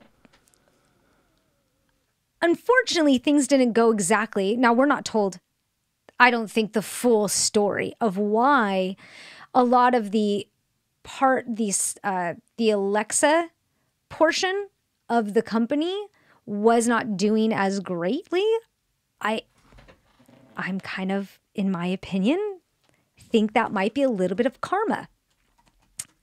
Because i just yeah, it's if you look, I think a lot. So internally, a lot. Ten thousand employees in November 2022. It was a massive layoff. Alexa and cloud gaming worst hit. Okay. We're just Yeah. pulling up the report while For you're sure. talking here. Yeah. Okay. So, and I will say this Bezos was never a fan, from what I understand, of firing. This was, this was This was after he left, unprecedented. yeah. Not to say this is a fault. You know, I, I, I come from everyone's creating their own reality and you attract what you, everything to yourself, bad or good, depending on how you want to define it. So I do feel for some of my, you know, f- f- you know, Amazonians is what we call them. But this was unprecedented for Amazon to lay off this many people, especially in those sectors, because these are two areas that are actually supposedly growing. Gaming is huge. Look at everything that's coming out metaverse, you know, crypto, all the gaming that pays. How is it that we're not succeeding in the gaming realm? How is it we're not succeeding in the AI Alexa realm? I think just maybe a little karma. But but don't you? Th- that's fine for this one company. Cool. Mm. But is it different, or do you not know about this? Because I don't know. I just kind of assume it's the same. Is, is it any different at Google? Yeah, I have no idea. I'll tell you this: I do have a Google in my house Because you don't know. because I don't know. And that's See, I'll bet. and I, know, I guarantee you, everything is being recorded. I'm sure everything there. I don't. But then again, I take this thing around with me. right. That's I'm the being problem. tracked You can't everywhere, get away from and I'm it. not. That's why I'm saying is I just wouldn't because especially at the time, I was working for the company, and I didn't. I will say I was not going to have an Alexa in my house, and I would not. Uh, you know, we obviously do uh, uh, bring your own device, right? BYOD. Uh, so I preferred iPhones, but I would not back end my phones into their their MDM. Into their what? The, uh, it's called MDM. It's their. It's basically uh, almost like their, uh, not their API, the VPN, so that I could get my emails from the company email and I could do all that with my own device. I would not allow that VPN connection to my personal device because I just don't trust the guys on the back end of this. And they're only mm. human. That's not to say it's a company driven thing. It could just be some guy in the back that just wants to look through my photos. I'm not about it. So I'm just one of those individuals that doesn't like to have a lot of access to Yeah. my stuff. But again, here I am with a, a Google in the house. Not really my choice. Um, my ex got me hooked on it because it does the white noise at night. It's really the only reason I have it. It's a horrible reason to have an AI device in my house is so it could play white noise at decibels. Yeah. Yeah, I know. This is why nothing's ever 100%. It's just, I just, when I found out about the Alexa stuff and I was, you know, uh, working with the company again, I absolutely love the community I worked with. I love Amazon. I love what they provided for me, what I got to do, the people I felt I was helping. Um, there's an underbelly to it. And there Yeah. were times where, like I said, I had some conflicts. And I think the way you paint some of it, I think, is actually really fair because I, I get shit for this when I point this out to people who are really concerned about the privacy, righteously so. But I'm like, you know, I'm not so sure that all the people have bad intentions. Right. And I think a lot of them actually probably don't. Are there some that do who, who just aren't thinking about things or they're scumbags? Yes. But I think a lot of people are exactly what you said. They're trying to do what's best for people. But like, what's the quote? The road to hell is paved with good intentions. I think that's probably what this is. A guy that I find myself going so back and forth on, though, is Bezos of all these executives because he seems to be a series of contradictions too. I really took a step back when, no pun intended, when he took a step back and left because I'm like, wait a minute, this is not on brand. Like he gave up the CEO role. He's out there fucking lifting and shit, banging very hot girlfriend, like living the life. You know, do, kind of like balling out at this While point. his ex wife is donating all of All her money. money. Right. As fast as possible. good for both of them. Yep. You know, because like point being, he took his hand off the trigger. Yeah. Right when, if you were going to put on the tinfoil hat and go full conspiracy, right when you would think, well, he would be putting it firmly on there. And I'm like, well, wait a minute. You know, this is the same guy who buys the Washington Post, which is a conflict of interest, in my opinion. The front page, you know, it, that's the problem with a lot of these publications, like New York Times, Washington Post. The front page stuff is where like the news whores go, Right. Like the people who are just trying to get on the front page. That's Yeah. all the shitty journalism, Yeah. and then everyone else, like my friend, All the good shit's in the fifth, fourth page. my friend Joby Warrick is at the Washington Post and he's fucking amazing, you know, but he's not a guy whoring himself for the front page every time, Mm-hmm. you know? So, anyway, but still, people see the front page, they see the headlines. We can all laugh at some of the headlines we see at these publications online. And I see a guy like that buying that and then he's buying it when the front page of those places is also pushing more and more lockdowns as this went on with the pandemic, which profits him at Amazon. So I'm I'm starting to think of the time like, oh, this Bezos guy, oh my god, he's he's evil, and then he quits, and he's also like. Elon Musk has never really liked him and he's been a competitor, but he's like kind of being nice to Elon publicly now too. You see what I'm saying? Like Yeah. there's all these little things that are happening and I'm like huh, I wonder if if a guy like that who has the ultimate keys to the kingdom has seen some of those things that even go beyond what what he'd be okay with with good intentions and is saying, "Oh, wait a minute. Maybe maybe the 99% of the population who's concerned about this stuff has a point." What what do you like what do you think? I mean, it's. I, I feel it's both, right? I feel he does have good intentions. I was bummed to see that he stepped back. Really? I think the man is is a genius in his own right. However, I think he has his hands in as uh, what people I don't know the term what they call oligarchy. He's part of that whole Yeah. crew, right? I think eventually you get too big and you have to step back. Like When you say have to, what do you like mean? Like Mark Zuckerberg, the guy should have bailed a minute ago because he should have been the last person on the freaking stand. Right, but when it you- came to Facebook. But like Are you implying? I want to make sure I understood this right. Are you implying that there's like some bigger thing that tells you, "Oh, time for you to step down, Jeff"? that is my Okay. tinfoil hat moment. Okay. I do think that he's too involved in certain things and he had to. It was if you don't, we're all going under with you. Mm. Whether or not we're able to cover that up or whatever that is, or maybe it's not as big as now some of the things we're learning about, who's to say? But talk about a 180 in all of the things in his life, as you said. And so I wonder if it's just like, okay, now you're free. Though he's still on the board, he's still helping make no, no, he- decisions, yes, right? yes. Like He's not gone. He's not gone, Yeah. gone. But what's fascinating to me is the rumors, and though they could just be rumors, of him coming back after Are there rumors of there that I mean, I think like a month or so ago there were rumors that he would come back and take the helm again. I'm thinking that's got to be a rumor. I don't know about you, but if I'm living his life, I'm not coming back to He the- looks checked out, man. I'm not coming back to this shit show. So I'm when I saw that I thought I, I don't know how you would just walk away from your baby like this. You're at the top. Maybe you're one of those individuals like me leave when you're at top. Okay, great. But I I just I don't know. But what if? Let's just put on our tinfoil hat for what if. What if we knew about this pandemic was going to happen? We knew all the big, at least some of the the big tech, the big three, we'll call it, maybe big four, but big three. Who would your three be? Well, you got Google, Uh-huh. you got Facebook. Uh-huh. I mean, you throw Twitter there, but Twitter's a shit show. Um, but you have Facebook, Google, excuse me, Microsoft, Facebook, Google, and uh, Amazon. What about Apple? Yes. Maybe I'm just too in love with Apple still and want to believe that they've got good intentions. Oh, okay. I see what you're saying now. Got it. Okay. No, I, I'm sure. I'm sure as well.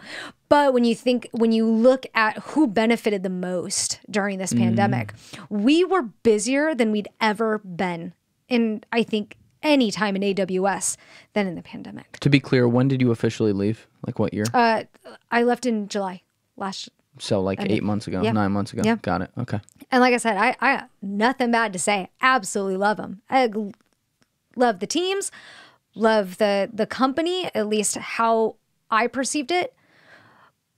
But if you just take my direct experience out of it, there are things that I could kind of look side eyed at and go, wow, so we made a shit ton of money during the pandemic. Everyone's holed up in their houses, can't go anywhere. We're benefiting. I mean, you just saw our stock go absolutely crazy. And I thought to myself, I don't know how I feel about benefiting from a tragedy such as this, Yeah. but that money is kept within the few. This isn't like this amount of wealth is being sprinkled around. No, we're working t- three times as hard. The higher ups are getting paid boatloads. We get, you know, some of our stock, right? But ultimately, this was a lot, a lot of profit made during this time. And just the timing of the pandemic and the profit and the stock going up and Bezos happened to just take his his break and then you probably know that the pandemic has its expiration date because people are going to call bullshit eventually Right, right. right? And companies are going to get really sick and tired of being put under their thumb and saying you can't do anything. And eventually they're going to let up, and eventually science is going to prove that, you know, some of the things weren't exactly as they told us was Fauci, all those other things. Yeah. And now we have to lay, we hired a ton of people for the pandemic and then had to lay off massive amounts. You look at the state of Amazon now, and I just think, what? You lost all of that profit. You lost all the profit. Is that karma? Maybe. Or was this all part of the plan?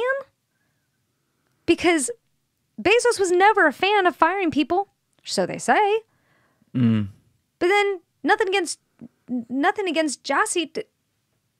Then he fired people. Yeah. But then there's all these people who are scared to death. You fired not hmm. only Alexa and the gaming, two areas where, frankly, cloud is cloud's cloud. We've done it a million times at this point, you know, which I can't believe I'm saying. Like I was back in the day where you're still doing like, you know, mainframe and servers and shit. Now we're talking Yeah. cloud's like, oh, cloud. Dime a dozen at this point. But the two areas I feel really are things that are up and coming especially as we get into more of this metaverse area. And you cut off two of those areas and fired a bunch of acqui- uh, talent acquisition managers. So no more hiring. So what? You're saying it's a giant contradiction. It, it, it that's that's what it looks like to me. But what does that mean? Like that's what I'm not really sure of. Like does that mean there's some sort of like they're just icing out one company? They. They- big yeah, quotes, right? right. Or I don't know. This this is where I get so stressed at night. Like and I You can't, control any of it. can't I don't let fucking it know keep what you happens. up at night, man. I tell you, this is where I just eventually, you know, because I, I had to look at it again. If I truly believe that everyone is creating their own reality and attracting everything to them, then this is just part of the cycle. I think that yes, Amazon gave a good service. Some of these big tech gave a good service during the pandemic, but ultimately, we f- we profited off unfortunate times, some of the most unfortunate times we've seen in our history. And that's just the balance. Nature is like that. Yeah, no, it's that happens. Creates, destroys, creates, destroys, always a cycle. And in order to recreate itself again, and maybe this is just their burn down. Maybe this is just the way they recreate themselves in in a new age. Who knows? It's unfortunate for a lot of people, but those people are okay. They'll be okay. Yeah, yeah. You're when you start talking about the the plan of it all, right? I think that beyond what we don't know and can just speculate on, I think that especially at tech companies, they have simulations of everything. So they're, and you would know that better than most of us. I mean, they're prepared for how to capitalize at scale on black swan events. You know, because it's not like previous titans of industry in the 60s and 70s and shit where it's like, oh, oil or some, some Right. not that those places aren't Right. around. They are. With tech, they click one button, shift one thing, boom, we're in this world now. It's not a physical product, you know? So for them to be able to say do well with something like the pandemic, I mean, I could fill in five other blanks of things that could have had, you know, some catastrophic similar effect where they would have done well too. Yeah. You know, so them being prepared, it's almost like they were prepared by their existence and their innovation. And so where that gets confusing is then you look at well the people and the intentionality of it. Yeah. And that goes it's a similar la- wavelength to what we were talking about. I think a lot of people probably have good intentions. Obviously, I got a little weirded out when like, you know, they're calling for endless lockdowns and you have the, uh, the owner of fucking Amazon owning the company asking for that in the Washington Post. So stuff like that, you know, that'll get my attention. Yeah. But you know, it's interesting to hear you say like, yeah, it sucks to be able to say you profit off something like this, and you're right about that, and that's a good humane thing for you to say too. But it's not just tech. I mean, me, I'm I'm still trying to make it out of my parents' house here, but like we grew off zero on this thing, and we grew in the pandemic. And if the pandemic hadn't happened, this never would have. Exactly. And there's a lot of other people across a lot of industries like me, and it's kind of zero or a hundred.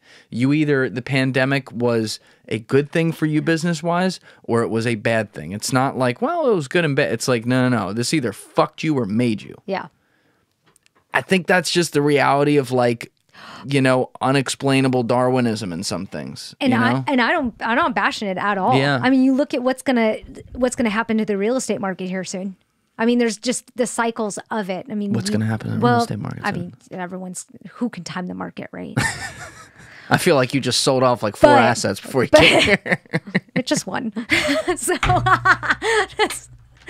also in California, but that was a good decision either way. yeah, you're getting two bucks for it. Anyway. Yeah. so, you know, just like, again, this is just how nature does things. But I agree that the pandemic opened up a lot of opportunities.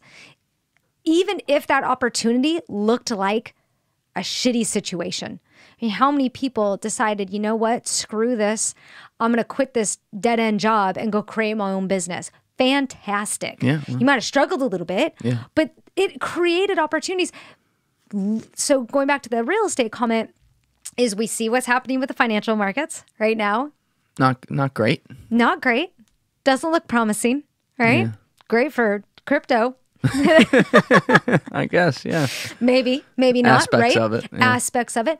So now we're in this now we've uh, we've just got through the whole pandemic thing which is now getting debunked by every which way you know the the shots and origins everything, the and stuff. Yeah, origins and all the things so now you know dealing with that and now we have banks failing and and, and now truths coming out about why that fails who knows right but inflation taxes, Fed Reserve, all the things that are happening. Look the value of cash, most likely going to go down, right? Mm-hmm. It's going to stress the average individual. And it's going to create a lot of opportunity for investors, especially in the real estate market. Now, do I look at those people badly? No, I'm actually one of those individuals that those who are prepared Yeah. for certain times of struggle can benefit. Nothing wrong with that.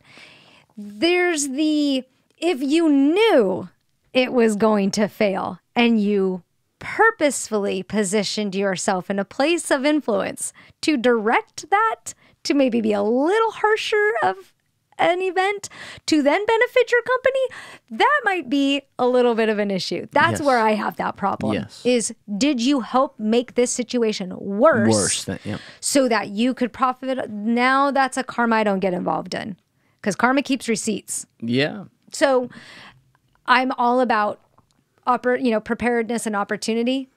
When those two meet, fantastic. But if your intention was to continue harm on a class of people just so you could benefit, which we see all over the world in different areas, you know, yeah, that's that's something I don't like to be around. Yeah. I don't like that. Like I, I'm not one of those people. well, proof's in the pudding. You left. Yeah. yeah, and I just yeah, it was time, and I'm glad I did because it it got me to really step foot hundred percent into what I I really truly love doing, and that's helping people with their health and a gateway to people to talk about other things, whether that's physical or non physical issues. So All right, let's go there. Let's let, right, us let's do let's talk about what you're doing. So, Sure. like I said, I was sitting in on that podcast with Pomp, and literally like five minutes before you get there, I'm like, "So what does she do?" And he goes, bro, I have no idea. It's called iridology. I'm like, what the fuck is that? He's like, you look at eyes and you tell people's health. I don't know. It's like 50 50. I've talked to doctors who are like, yes. I've talked to doctors who are like, quackery. I Yeah. guess we're going to find out. So then we get in there and you guys just had this wild podcast. But to start off, before we break down like some of the many things about the full system that you're aware of that everyone can understand because it's medical actual medical fact before we get there the the specific thing you do with iridology can you just explain exactly how it works so Sure. people understand Sure. So the entire nervous system in the body communicates obviously to the brain, but specifically to the eyes. And so the colored part of your eye or the iris is the only soft tissue that exists to this day. Soft tissue analysis, excuse me. And you can take a close up picture of the eye and pretty much tell 80% of your health. So, how well, given the entire nervous system communicates to the eye, and I just, this is kind of where I feel like this is beyond some of our knowledge as far as how, hmm. why it was created this way. But there has to be a way to look into the body instead of being invasive. And this is where I just mm. think creation made it super easy for us is how do we take a look at the body without having to cut into it? And that's where the eyes come in. I can tell and through iridology, you can tell structure, you know, whether that's the muscular, bones, lymphatic system, nervous system, digestion, skin, everything. What is the lymphatic system So lymphatic system is in short term your sewer system. So you eat and you excrete. Well, so do your cells, every single one of them, depending on what you're feeding them, right? So if you feed the body something that it doesn't necessarily digest very well or process very well, know what to do with, it needs to excrete it. Also, cells live and die. That's just natural part of life. You know, very much we're very much like a plant. Yeah. And so if those dead cells have nowhere to go, cellular waste or dead cells, and they're not out of the body and they just stay in the body, then that's a problem, right? So the lymphatic system is responsible for the the um, kind of the the the absorption, utilization, and then uh, elimination of all of that intake that you put in your body. okay So- so back to the front end of the eyes though you first of all how did you get into this again like when Yeah, so I while was ago, intro- right? I was introduced to this when I was a kid. So my mom was riddled with just health stuff and not massive, major chronic things, but like constant headaches, eczema, severe eczema up to her Mm. elbows, uh, constant pains, mood swings, all things, and and she couldn't find answers. She'd gone to every doctor, every everything she could find, and no one could give her relief. And we're talking where I was a kid, and she'd go to the chiro know, a few times a week, and the chiro had to teach me how to adjust my mom because there were days, obviously, that the chiro wasn't working and my mom would be in pain. So I would adjust her mm. and give her relief. So this is just kind of my experience with my mom, and it was hard to watch. Well, one day she just goes into this little herb shop in Tustin, California, and this little older lady comes over, and my mom's telling her her, her ailments, and she says, well, "Get in the back. I'm gonna read your eyes." Well, mom's like, okay, what you got in the back? Like, what's going on? and she gives my mom an iridology exam or a, a analysis, and just reads her mail to her. Like my mom didn't have to tell her any of the origins or what had happened, that she got into a massive car accident, hit her head on the windshield. She didn't have to tell her any of those things. Here's this older lady just going, "Yep, you got this, this, this, this, this. Take these herbs, do this, and and you'll be fine." And my mom did exactly what she said. Some of the ailments, you know, went away. Some things we detoxed a little later on down the road, but my mom was fascinated by this. She goes, "Okay, you mean to tell me that I can look in someone's eyes and find out everything I need to know about their health, minus, let's just say, the blood? Because the blood's 20% of the health equation, whereas lymphatic is 80. Mm. Okay.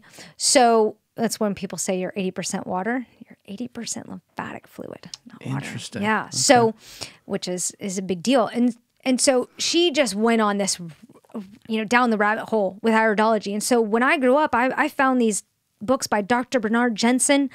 And I thought it was fascinating because I'm just a nerd like she is. And so I started flipping through the books. And when I saw the pictures of eyes, and I'm, I don't know, 12, I don't know, 11 or 12, it was hard to look at them because I could almost feel like the uh, eyes looked like the person was in pain. Well, they were. I didn't know this. I hadn't read the book fully. And so I said, Well, I'm a really squeamish kid. I'm just going to put these books away. and 20 years later, you know, my dad gets really ill. Same thing. Can't figure out what the heck's wrong with him. Take him to every allopathic doctor, herbal doctor. All they can't find any solutions for this man, and we're almost losing him. Like it's scary to us at this point. I mean, the man can't even look out his own eyes. He's so swollen everywhere, and in pain, can't sleep. And I, I thought to myself, there's got to be a better way. There has to be an answer for this. And that's when I was introduced to Dr. Robert Morse out of uh, Port Charlotte, Florida. Mm. He was one of the only individuals to work with Dr. Bernard Jensen.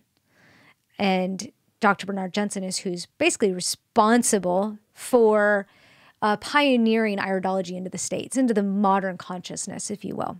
And this and yeah. there, there's a lot of people like it's it's mixed. There's people who think this is totally fake and people who think this is totally real. But when you start off, like you mentioned the story about your mom and the woman was able to read it through her iris and everything, like how do you what specifics can you give examples of like things that the eye will show that sure. then translate to a specific ailment? Yeah. So, for example, I, this is one of my favorites is when I know nothing about someone's health and they're like, okay, read my eyes. And this often happens, and I don't like to do this now, but this often happens when you know you're sitting at a bar or at brunch, mm. and someone challenges you and like, oh yeah, look at my eye, and, t- and I look at their eye, I'm like, well, what's up with your left knee? And their eyes just get big as dollars, like, holy shit, how'd you know? My knee's been bothering me for years, and I can't figure it out. I'm like, yeah, they it's like act, some psychic shit. They act shocked, and I'm like, this is this is not shocking. It's science, but yeah. we don't teach this, right? Blood tests are cool. I nerd out on them a little bit, but they are nothing compared to what the eyes will tell you. And so I could all I can say is there's way too much freaking proof that this is accurate and works every single time because I've done it enough and I've read people's eyes from all over the world without knowing a single thing about their life. And I'll tell them every single day what they're eating, not maybe how many eggs they're eating. If I can tell you they're eating eggs, I can tell you're eating meat. I can tell you're eating this. I can tell you you've got uh, this organ suffering. I can tell you probably got some back problems you got digestion. It's sluggish here. Maybe it's a little painful on this side, descending colon. Like I'm, it's a, that pinpointed accurate. And I get emails that are just paragraphs and paragraphs.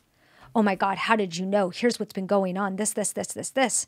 Now with proper chemistry and physics and knowledge of that and how the body works, you can always map those back down to the root cause. Most people are just feeling the symptoms, right? Most people are just experiencing eczema or aches in their knee. They don't have any idea how that came about. So, how does that? There, there's a good example eczema because you've talked about i've heard you say it i know you said it on the podcast with pomp yeah. and we were talking about earlier the skin is the third kidney yes. or something like that. Mm-hmm. because if it's not going to be excreted through the kidney it's going to be excreted somewhere. I'm sorry real fast. Yeah. Can, your phone can you put that this is really random can you put that in your pocket or something? About just put on the ground. Yeah yeah that's fine. And then see this mug? Yeah. Can you move that to that yeah. other one right there oh, on off camera I don't know why, but it caught the cameras. See your color now. If we're looking at your screen, the I camera, can barely see me, but as long as it, yeah. the camera was picking up. Something happens sometimes when it puts this mug into focus, yeah. or like something white, and then the camera turns yellow. So if I have someone listening out there who understands camera focal coloration gonna, or something, like, please explain have, this because why does drives, she have jaundice? it drives me fucking nuts. I will be sitting here focused on a podcast, but listening to someone while watching their screen over here is I'm like, why the fuck is their color doing that? Yeah. But now your color looks great. Fantastic. So, anyway, back there, we'll see That's how long that lasts now. It works. But with with the skin, I was saying the skin being the third kidney thing, yes. right? Yep. So if you're looking at something like eczema, for example, mm. which is something that I struggle with. what about your diet? Because a lot of what you talk about with iridology comes back to things you're doing in your diet. And to be clear, you're not someone who's like, oh, go vegan or something like that. You're you have very customized things for people. But what about your diet can you immediately kind of glean and be like, oh, it's one of these types of three things, for example, that Yeah. you are that you're doing that that's causing that with eczema? Sure. Usually it's going to come down to the biggest antagonizers is meat, and that's uh, like flesh. We call it protein, and I'll break that down here in a second. Okay. But meat, fish, I call it flesh, uh, and uh, dairies, major, and uh, I'd say the other one is probably just I, I mean, alcohol could be one of those. It's highly, highly inflammatory, highly acidic. But really, it's anything that's on the acid scale.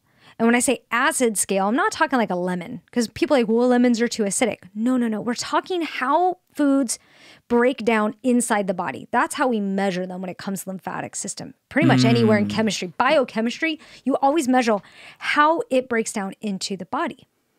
And so I usually can tell if someone's eating a high mucus forming diet. You could have someone eating no meat and a ton of rice and still end up with eczema because rice is heavily mucus forming. What kind of rice? Doesn't matter. It doesn't matter. I eat more rice, more brown There you go. rice than anyone you've ever seen in Yeah. your life. the the thing about rice it's um so i tell people that if you have anything that you could kind if you cook it and you could pack it into a form. If it's gooey if it sticks together that's going to happen inside the body. It's going to create an obstruction. The body doesn't like obstruction How does that form mucus? because it's how it breaks down in the body. So even you can look at something outside of the body, but unless you understand how the human body works and what we're supposed to eat, which is not really what anybody else is eating at the time, um, that's what determines where you are in that pH level, right? So we as humans are a species. We don't do blood types. That's you don't change diets based on blood types. I get there's a lot of theories out there. Most everything out there, if you flip open your Instagram or your Facebook, everything that's told you diet, this supplement, yada yada, this herb, yeah, it doesn't fucking matter. Two sides of chemistry. There's acid and then there's base side. Not too far to alkaline, because remember, nature doesn't like extremes anywhere. Um, so closer to the alkaline pH level in the body is prime. Well, how do you get there? Well, you first understand that as a human, we have short, pocketed intestines. We have a certain structure of our teeth and what we can eat. And if you get into exactly what uh, and how we break things down with all those systems, whether it's digestion, lymphatic, nervous system, mainly focusing on kidneys, adrenals, and those the endocrine system, you'll find out every single day that we are meant to eat more on the frugivore side. Fruits, berries, melons. Frugivore. Yep. Fruits, berries, melons, some seeds, some nuts. But notice how there's no dairy, there's no flesh, and there's no heavy starches. Beans also fall into the protein area. We don't digest beans very well. And a lot of vegetables we don't digest very well either because we don't have four stomachs like the herbivores do.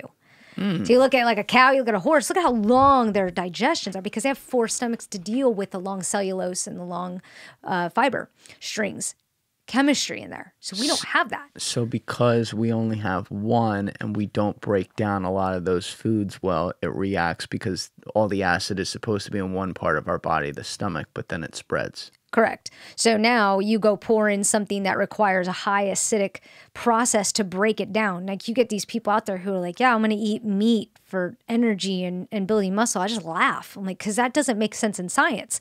Chemistry would laugh at you. That's not how that works. The second you go pour in that high acidic forming chemistry, the body has to do overboard of mm. acids. So now you got the stomach chamber, which is the only acid chamber in the body, all right? So you got that breaking it down, but it's mucus forming. When it breaks down, it's like sludge. You have two waste systems. You've got the undigested food, which is just your stool going through the the, Right. the large intestine, sorry, large small intestine, and then you have the lymphatic system and the the uh, sewer, the waste going out the kidneys, out the urine. Hopefully, you've got some dusty, cloudy urine. Right. If you don't, you're dying, and You're dying. you're dying.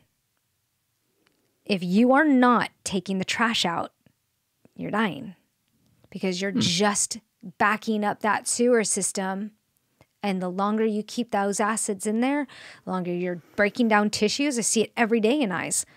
These these tissues that are just suppressed by all this mucus and all this lymphatic waste, it's just suppressing them. It's just tearing these tissues apart.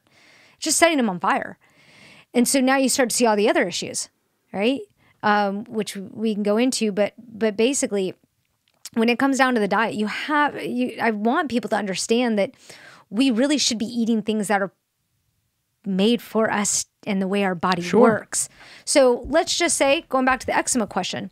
So you pour in a bunch of this acid forming food, it doesn't break down very well. You can't really utilize hardly any of it, especially flesh.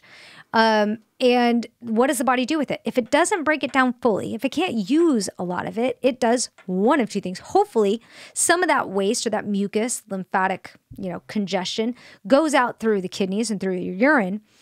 But for the majority of people, there it's just storing because When when you say, I, I'm sorry, I want to make sure I follow this. When you say that though, and you're talking about forming mucus, I keep picturing the mucus forming in your stomach, like because that's where the process is going. And then I guess it works its way up. But you're Mm, talking about it forms up here it can form. Yeah, it, well, from your stomach. yes. So if you take draw a line from your stomach all the way to your head, what do you have? The entire GI tract, Right. up here, right? So this so is it's basically gas forms. It's it's and then just it creates the, mucus. right? Because the waste has to go somewhere. It's trying to go through all the lymph, lymph nodes. So people who are taking lymph nodes out, fucking stop.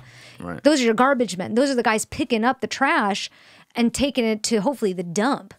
But so it's going to do its best to have all the lymph nodes take on a load of this waste, and you have them throughout your entire body. But if they're already clogged, they can't take on any more trash. Now you got a problem. Now you're just overloaded in the lymph nodes. Your garbage men are done, can't take any more, and your kidneys, which we are genetically weak in our kidneys and adrenals at this point in our civilization. We just keep passing down these issues. And so it's rare I see someone with like the soldiers for kidneys. and You're saying like evolutionarily. Yeah. We just keep passing these issues down. We don't ever fix them. We don't strengthen. That's one of my things is gosh, I mean, if you want to have a baby, do you want to create a life? I I'm inspired to help moms take a look at their and dads, right? Depending on how they're having their kid. Uh, really take a look at their genetic weaknesses already before they're passing them down to their children. Because now we just continue to do this. And yes, you can tell genetic weaknesses in the eyes. How? So, again, this is all the nervous system Okay. that's communicating, right? Um, nobody comes in with a clean slate. When we're babies, if you're breastfed by your mom, you are getting her lymphatic system immediately. So you have a lot of people say, "Well, yeah, I was born with blue eyes, but suddenly they turn brown. Why?" Hmm. Let's look at mom's eyes. I love when I get a chance to do family's eyes because I can see the issues just get passed down. You see the drug chemical deposits get passed down. You see the genetic dispositions grow within the genes. Are you saying their genes almost get edited when that happens because they're so young, or did I that totally go No, genes my are head the wrong genes. They're in there. That's what I thought. Lymphatic system. You'll take on. But why were you saying that you can ha- you can talk to people before they're going to be parents to? Yeah, I don't know if this was yeah. the exact phrase you used, but like edit their genes Yeah. or something. So you would have to go pretty deep, pretty deep to fix some genetic issues. And they would have to be pretty young in the gene pool within the, you know, the length that they've been in the genealogy to fix. I'm not looking to fix genes per se, because I don't think anybody's that dedicated to just, I mean, they would have to go full board fruitarian for the rest of their Right. life, right? I'm not asking for someone to do that because we're here to enjoy and experience and try all the flavors and things, right? What I want what I would love for moms and dads to do, or however combination that is, is to give their child a better leg up. Okay, so for example, I was given a not her fault, but my mom was a highly dehydrated. She didn't know any of this stuff. She was living on Advil and Tylenol because she was hmm. in so much pain, right? Yeah. Steroid creams, loved drinking tea, eating popcorn, lots of sulfur in her body. And so I come in with, you know, what I I either have really light light brown eyes or I have blue underneath all this shit in here because there's only two colors of eyes, blue and brown, and the, everything else is just lymphatic system. So how do people get green eyes? They're full of shit. Go back to go back to primary colors. What makes green? Blue, Blue and and brown. Yellow. I was gonna say blue and brown. Blow your Thought that was the nose sometime and tell you what color that is. It probably looks like the shit on t- that's covering up those blue eyes. So It happens all the time. when I'm looking into green eyes, that person has a problem. Has blue eyes and they're full of lymphatic waste. What the fuck? Yeah. Same with you see somebody with like the orange spots in their eyes or dark spots No. in their eyes. No, you don't see those. Never seen that. Now, if you see red eyes, run. Now, now we got a different problem. That's that's an alien, That- but okay. Or a vampire. I'm pretty sure those might exist somewhere. It could be one or the yeah. other. Um, maybe we'll go in Ecuador and see if there's any in the rainforest. But there's there's that's kind of just the the the basis knowledge of some of the iridology you find out. But when you look at parents, I'd love for them to just give their kids a leg up. I came in, like I said, with sulfur and all this other shit, but I also came in with a parathyroid weakness and a pituitary weakness. I'm five foot nothing. I have teeth that are horrible. I grow hair wonderfully. I've got all the other things, but for some reason my teeth aren't great. So if you What's wrong with your teeth? Oh, I know they look probably okay, but they're not my favorite. But they're super duper. Um, they're like, for example, I had cavities on my first set of teeth. And I'm like, wait a minute, I have perfect hygiene. I'm not pounding down sodas. My mom, my parents did not allow that. I'm flossing, I'm brushing, but why is it I've got cavities in my first round of teeth, and in my second round, forget about it, and teeth pain and all the things, and and as I studied this stuff, I find out I have a parathyroid weakness. Parathyroids deal with calcium utilization. But if I look at my eyes, I clearly have a spot in my parathyroid spot. I clearly have an uh, issue in my pituitary, which is all growth factor. I'm short, didn't develop as well, and I was riddled with growing pains. You just aches and pains as you're growing because because the pituitary deals with all the growth factors. What if your husband's really short? Maybe he's a fan of that. I got nothing against short men. I got nothing against short people. But what if you didn't want to pass that down to your child? Maybe they wanted to be a little taller.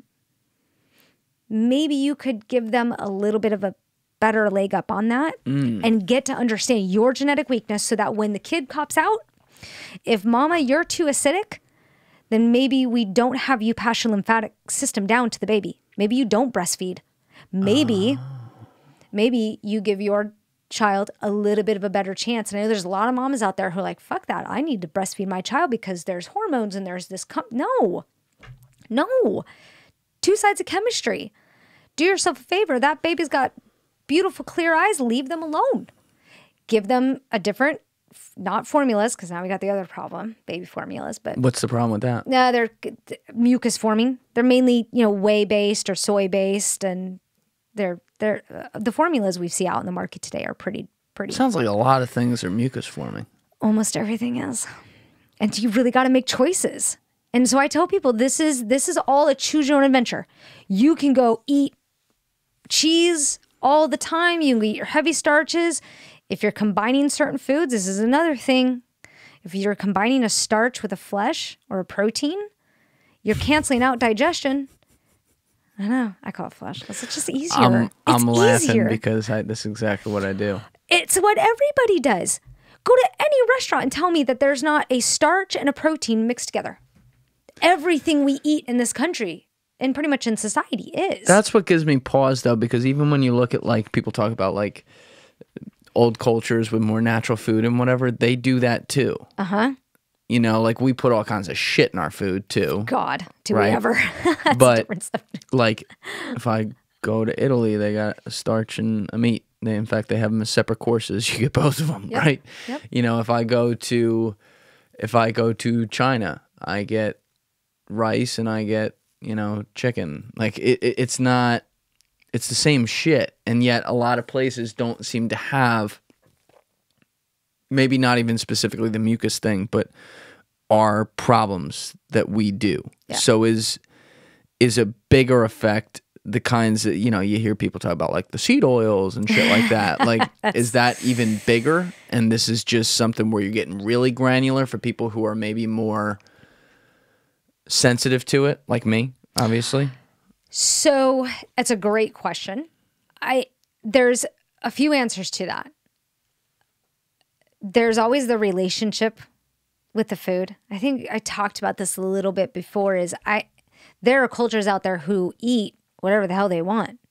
And they hmm. seemingly are perfectly fine, blue zone and certain things. But look at their attitude. Look at the vibration that they have in their life. Look at their intentionality, the way they believe about that food. There is a relationship they have with that food that, though, if we probably looked at their eyes, yeah, they probably have issues, but they're not experiencing anything to this day, like, you know, eczema headaches, whatever it may be. this is what you and Pomp were talking about this he brought up Warren Buffett the Yeah. guy's like 90 years old and drinks coke and eats Yep. ice cream every day and he's great and you said it's probably has and this does make a lot of sense when you hear him talk about it it's his relationship with Yes. it he's never thought about like i'm putting shit into my body oh my god so there's like the mental reinforcement there i think He has no resistance. yes He has absolutely. What is he invested in? What companies are he is he invested in? coca-cola And is he McDonald's is one of them as well? I think so, Okay, what yeah. does he eat? That man is eating part of his legacy. Can you think about the pride? like God, like think about this shit. That man is eating something you're saying- he's created, and God, what an amazing feeling. You're saying I got to go to McDonald's and, and order no. a burger and Coke and be like, but I'm going to invest in fucking stock. And you know what? Now it's my legacy, so I can do this every day. because here's here's the unfortunate part. It's easier for me to get someone to eat a fruitarian lifestyle than it is Fruitarian. I than love that. to change their perception around things. Mm, I believe that. Unfortunately, and this is coming from a girl who grew up in Orange County, California, where if you're not 100 pounds wet, you are fat. We are already in the society raised with a bad relationship with food. Everything's going to kill you. Everything's going to do this to you. So, right? There's all of the the mental and the ego and the opinions. And again you can't even open facebook and instagram without someone telling you that that's going to kill you or this is going to make you well or this is the right way to do things. We're so riddled with all of that. I find that the people who have zero resistance and aren't listening to all this going on mm. are probably perfectly fine to eat that stuff. So I'm not going to tell them that they shouldn't or they can't. Where I do give some of my advice and I part and I I give this information are to people who are perhaps looking to either relieve themselves of certain symptoms are staring in the face of chronic illness and want to feel better or are looking at okay maybe maybe what I've been doing hasn't been working. Maybe I want longevity and maybe that looks different and maybe that looks like this whole lymphatic system pH level thing. I only come from the detox standpoint because other than Detox standpoint. yeah, like cleaning the body up, repairing issues, cellular regeneration because cells regenerate, tissues regenerate. I come from that standpoint. Other than that, go have a blast. All right, so someone walks in. Let's say they are a power lifter. So they're eating all kinds of dead animals, Yeah. right? Let's say they have a severe mucus problem and let's say they've had let's say they've been doing this heavily where they have these problems and they've been powerlifting heavily for like five years so mm-hmm. it's not been like two days Yep. how do you fix them Well, I first tell them that they need to prepare to get really skinny because we have to detox them. And the best way to do that is to rid their body of the acids because acids are the only side of chemistry causing inflammation, pain, breakdown, yada, yada. All right. yeah my body's swimming with them clearly eh, eh, Almost everybody is. But when I get bodybuilders, and we do, we usually tell them prepare to get really skinny because unfortunately, you built your muscles on, I say, you built it on sand. You built a house on sand. Mm. Those muscles are only as good as long as you continue to pump the steroids, the norepinephrines, the epinephrines, the adrenaline of that dead animal into your. You're basically shooting steroids. People, guys, like, I don't do roids. Are you? Do you eat meat? Then you do, but you just think you're doing the right thing for a bodybuilder because that's what they keep telling you. So unfortunately, when we we detox them, they get really thin, which is hard for ego. Very. These guys freak out. I'm gonna lose my muscle. Yeah, but look at the gorilla. Do you want to be as strong as that motherfucker? Because I would if I were you. Where he's chewing. The gorilla? Yeah, look at a gorilla. He's built all of his muscle. The uh, gorilla, like, Like an, an actual, actual animal, gorilla, yeah. has built his muscles on straight amino acids. Can you explain that Sure. to people? So most people when they say protein, they are trying to go for the amino acids, which is the nitrogen side of chemistry or what builds structure. And so unfortunately now we've kind of told people if you want to build muscle, you got to go eat meat because they think that that's the amino acid heavy Right, side of chemistry. right.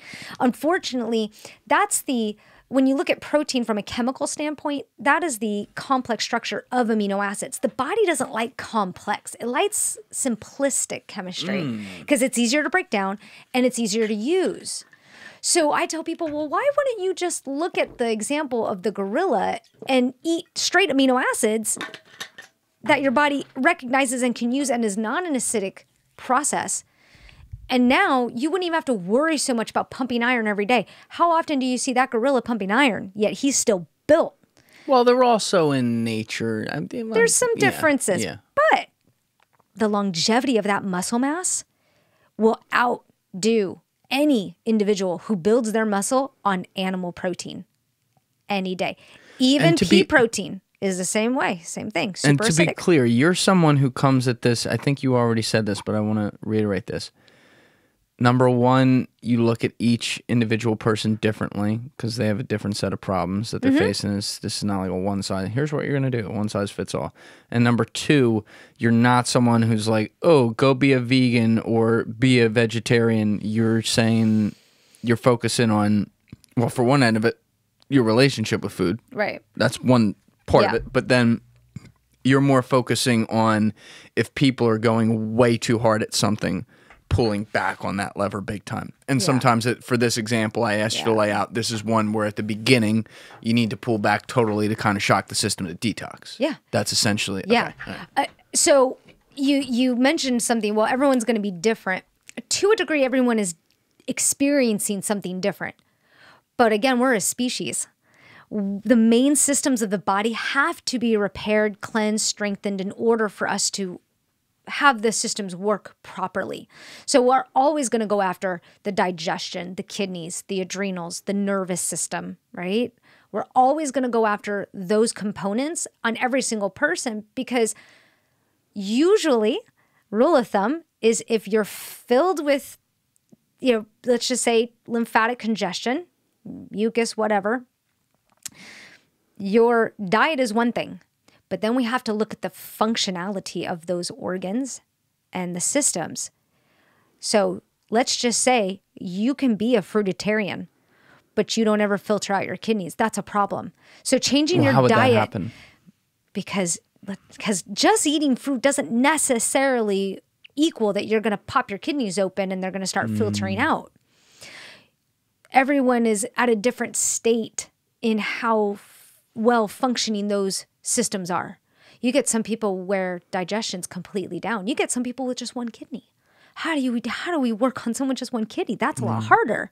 So we're going to address the system as it's created because it's created the same for every single person unless like i said you are missing a kidney or it got taken out or you've you know had bypass yada yada there's there's the same system in every single person because of being a species. However there's going to be the different states depending on where you've been lymphatically and so forth and genetics do kind of take a factor in that as well. Well, what you're getting at too, like we keep talking about the kidneys, but obviously, like we have a whole, as you've laid out a little bit, we have a whole digestive tract that happens. And I think at least a mistake I make when I'm thinking about this, and I'm sure a lot of people do, is we constantly focus on like the stomach. You know, how does it feel? Because that's what processes the food when you get in. But then you have a whole system of intestines. Yeah. You have a whole, you know, there's two different ways you can get rid of shit here. You can either take a shit or you can piss, right? So there's two very, very different ways that that we excrete different substances, I guess. Correct, yeah. But another problem that I've heard you speak about is that a lot of people in that second part of the process after the breakdown, regardless of how well or not well that went, I assume it, in this case it wouldn't have gone well, but they hold on to waste for a very long time. And people will sometimes this really scared me when you when you said this with pomp. People will have waste in their body sometimes in certain situations. People who may look very healthy on the outside that has been there for years meaning there are small even if it's not big there's small parts that are sitting in their intestines or something that are basically like i liken it in my mind to like a fungus in that way. And they're just sitting there and it's a foreign substance that's not supposed to be there that has no nutritional value that then i assume causes all kinds of reverberating effects in the bloodstream at all times. Is that fair to say? Yes. And it's not only causing those issues, but for example, uh, to your point that that's been acidifying in there for years and it causes this like tar that just sticks inside the pockets of our intestines because we have pocketed intestines and therefore you block all those channels that the intestines and so that whole digestion its purpose is to take in nutrients break it down then to absorb it, then to send it out for utilization. But the problem is, is let's just say the majority of people, which because of the diets, because of the combination of foods that cancel out digestion, you have individuals that have what this is like a tar that blocks that those pockets from taking in anything and then utilizing it. So you keep pouring in chemistry. So you keep eating, but it's not really going anywhere other than through the stool, or hopefully you're filtering out the cellular waste through and the acids through the kidneys. But you're pouring in like supplements and vitamins and all these different, you know, new fandangled pre workout thing, and you're having a really expensive pee because you're not absorbing any of that. Maybe 10%, maybe. Why aren't you absorbing it? because you have a malabsorption because that all that acidified shit we were talking about that's just basically blocked the wall. These com- these companies have no idea. These people who make more supplements and more supplements and more things and more protein powders and all this kind of stuff and people are out there just pounding these away and going why am i not feeling anything? Because you're not actually absorbing and utilizing any of it. You're just peeing it out And so then, but that means you're not, if you're not absorbing it and utilizing it, you're not necessarily building muscle at the same clip or something like that. so i've asked one of my clients the other day i said how long has it taken you to build what you have he goes years Yeah. I said, that is unfortunate. I took a look at his eye. He's got a malabsorption ring pretty damn thick. I You said, can see that. You can. I said, that's what you got to fix first, dude. Get in there, clean that up. It's not going to be that enjoyable. Do you have a picture of what that looks like? A do, malabsorption yeah, rate? yeah. Can you give me one of those Sure that I'll can. put in the corner of the screen Yeah. for people to look at right now? Yeah, and so again, you can go look in the in the mirror, take a little light, point it there, take a look at it, and you'll see. And this is why I tell people, you can keep pounding the ground and and your head against a wall, trying to figure out why am I not putting on muscle? Why am I, you know, not? Some guys out there who can't even put on weight these really thin individuals, which I don't, I think lean dudes, that's totally fine. Again, this is choose your own adventure. You may just be a cyclist, lean type of dude. Great. But what if you're one of those individuals who really wants to put on weight and he's like, I can't? Or a gal, he sees very, very thin women who are like, I can't put on any weight. Take a look at their malabsorption. Take a look at the other areas of their their body. Clean them up a little bit. Tell them take a break. Is that where the little silo on that? Is Yeah. that where some some people who have suffered from anorexia in the past then can't put like actually, you know, uh, I don't know if this is the right term, but like get past that and then they're able to eat and have a good relationship, but they still find they're brutally skinny and can't put on weight. Is that because their body has basically utilized awful foods in the past just to try to get some nutrients that then causes that malabsorption? Yeah. Uh, Most likely there's going to have someone with a malabsorption ring in there. Also, Yeah. too, you got to look at the toxic factor or the chemical factor of the body, the liver and the gallbladder. Um, oftentimes, because of the constant bile need, you're, you're you know, anorexia, bulimia, stuff like that. Right. Too much acids that form in the body and it burns up the stomach. And so, therefore, you just chew through your food. So, you find actually a lot of anorexics and bulimics have diarrhea issues because they just have a chemical imbalance in the in the stomach chamber. And you can see that also. You can see if someone has a high acidic stomach or a low acidic stomach. So not enough. You can see that. Yeah. Oh, wow. Um, And so I just tell people like, it, look, and and guys, are like I said, some of these individuals that are really nervous about losing this muscle. I'm like, you're don't let your ego get in the way. Your ego's very attached to this muscle. I get it. You look great, but you're full of shit, man, and you're killing yourself trying to put more muscle on. Like, you know, it, it's there's no shame in taking that step back, clearing the foundation, and then building the house better, building it for longer. And because if not, unfortunately, here's where we get to. You keep pounding that animal protein, you keep pounding these, you know, those those the neurologically damaging foods. Don't even talk about just the acidity side of things. Neuro, yeah, neurologically yeah, damaging. Again, How so? remember, you're when that animal gets killed, it puts out all of its last chance to live. Norepinephrine, epinephrine, uh, adrenaline. It gives out all of it because it's trying to live. It's trying to defend itself, but it's Oh, being killed. So it's the ultimate stress level that the animal goes through. You that goes into the flesh, that goes into the tissues that you're eating. So a lot of Holy people are like, "Oh, I get energy from meat." No, you absolutely don't. You're living off the steroids. You're living off that animal's last chance at defending itself. And that's I know nothing about this, but No. that doesn't give you energy if it has like adrenaline. I would think adre- adrenaline. Sure. Like I'm just my, but, my, but go take roids brain's thinking that. Go take roids. Same thing. Mm. But it's neurologically damaging. But that has to, roids have to, a lot of them, not all of them, but a lot of them have to do with water retention, right? Those that's just the kidneys. Okay. Kidneys are what cause water retention. That might have been a not. really dumb thing to say. no, it's but okay. No, th- again, this isn't taught. I never did roids, so this really isn't know. taught. None of this is taught, unfortunately. Why? But why? Because uh, the best way to control an individual is to feed them shit. So feed them something that will break down their willpower give them something that will break down their processing power so neural go after them everywhere energy neurologics all of it Mm. control through food is the best way that's what What What do you think of our?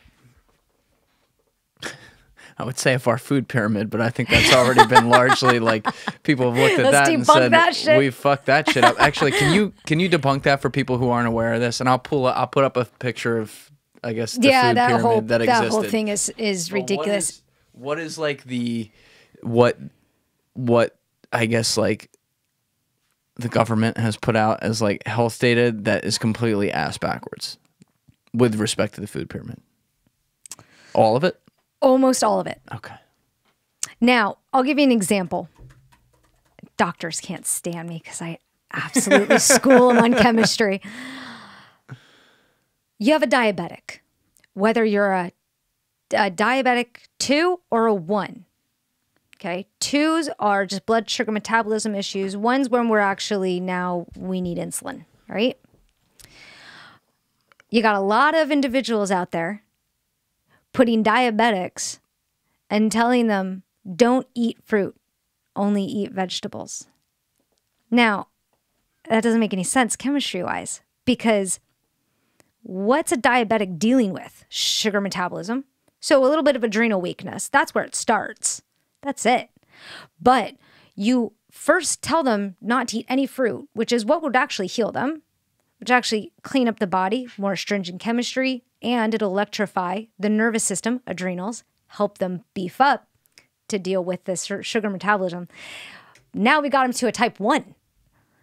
Cool. Now we got him on insulin And let's really make sure they only eat what? Veggies and protein. Why would you do that? Vegetables and protein beg the pancreas for insulin. Why wouldn't you give the pancreas a break?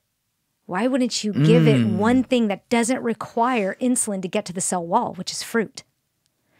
So this is where we just got way off chemistry. We got way off the way nature works. We don't know how we're not taught the way the body works. But what did what did you just do? You created a customer for life. Yeah, because they have to rely. 'cause They mm. got to keep shooting up the insulin.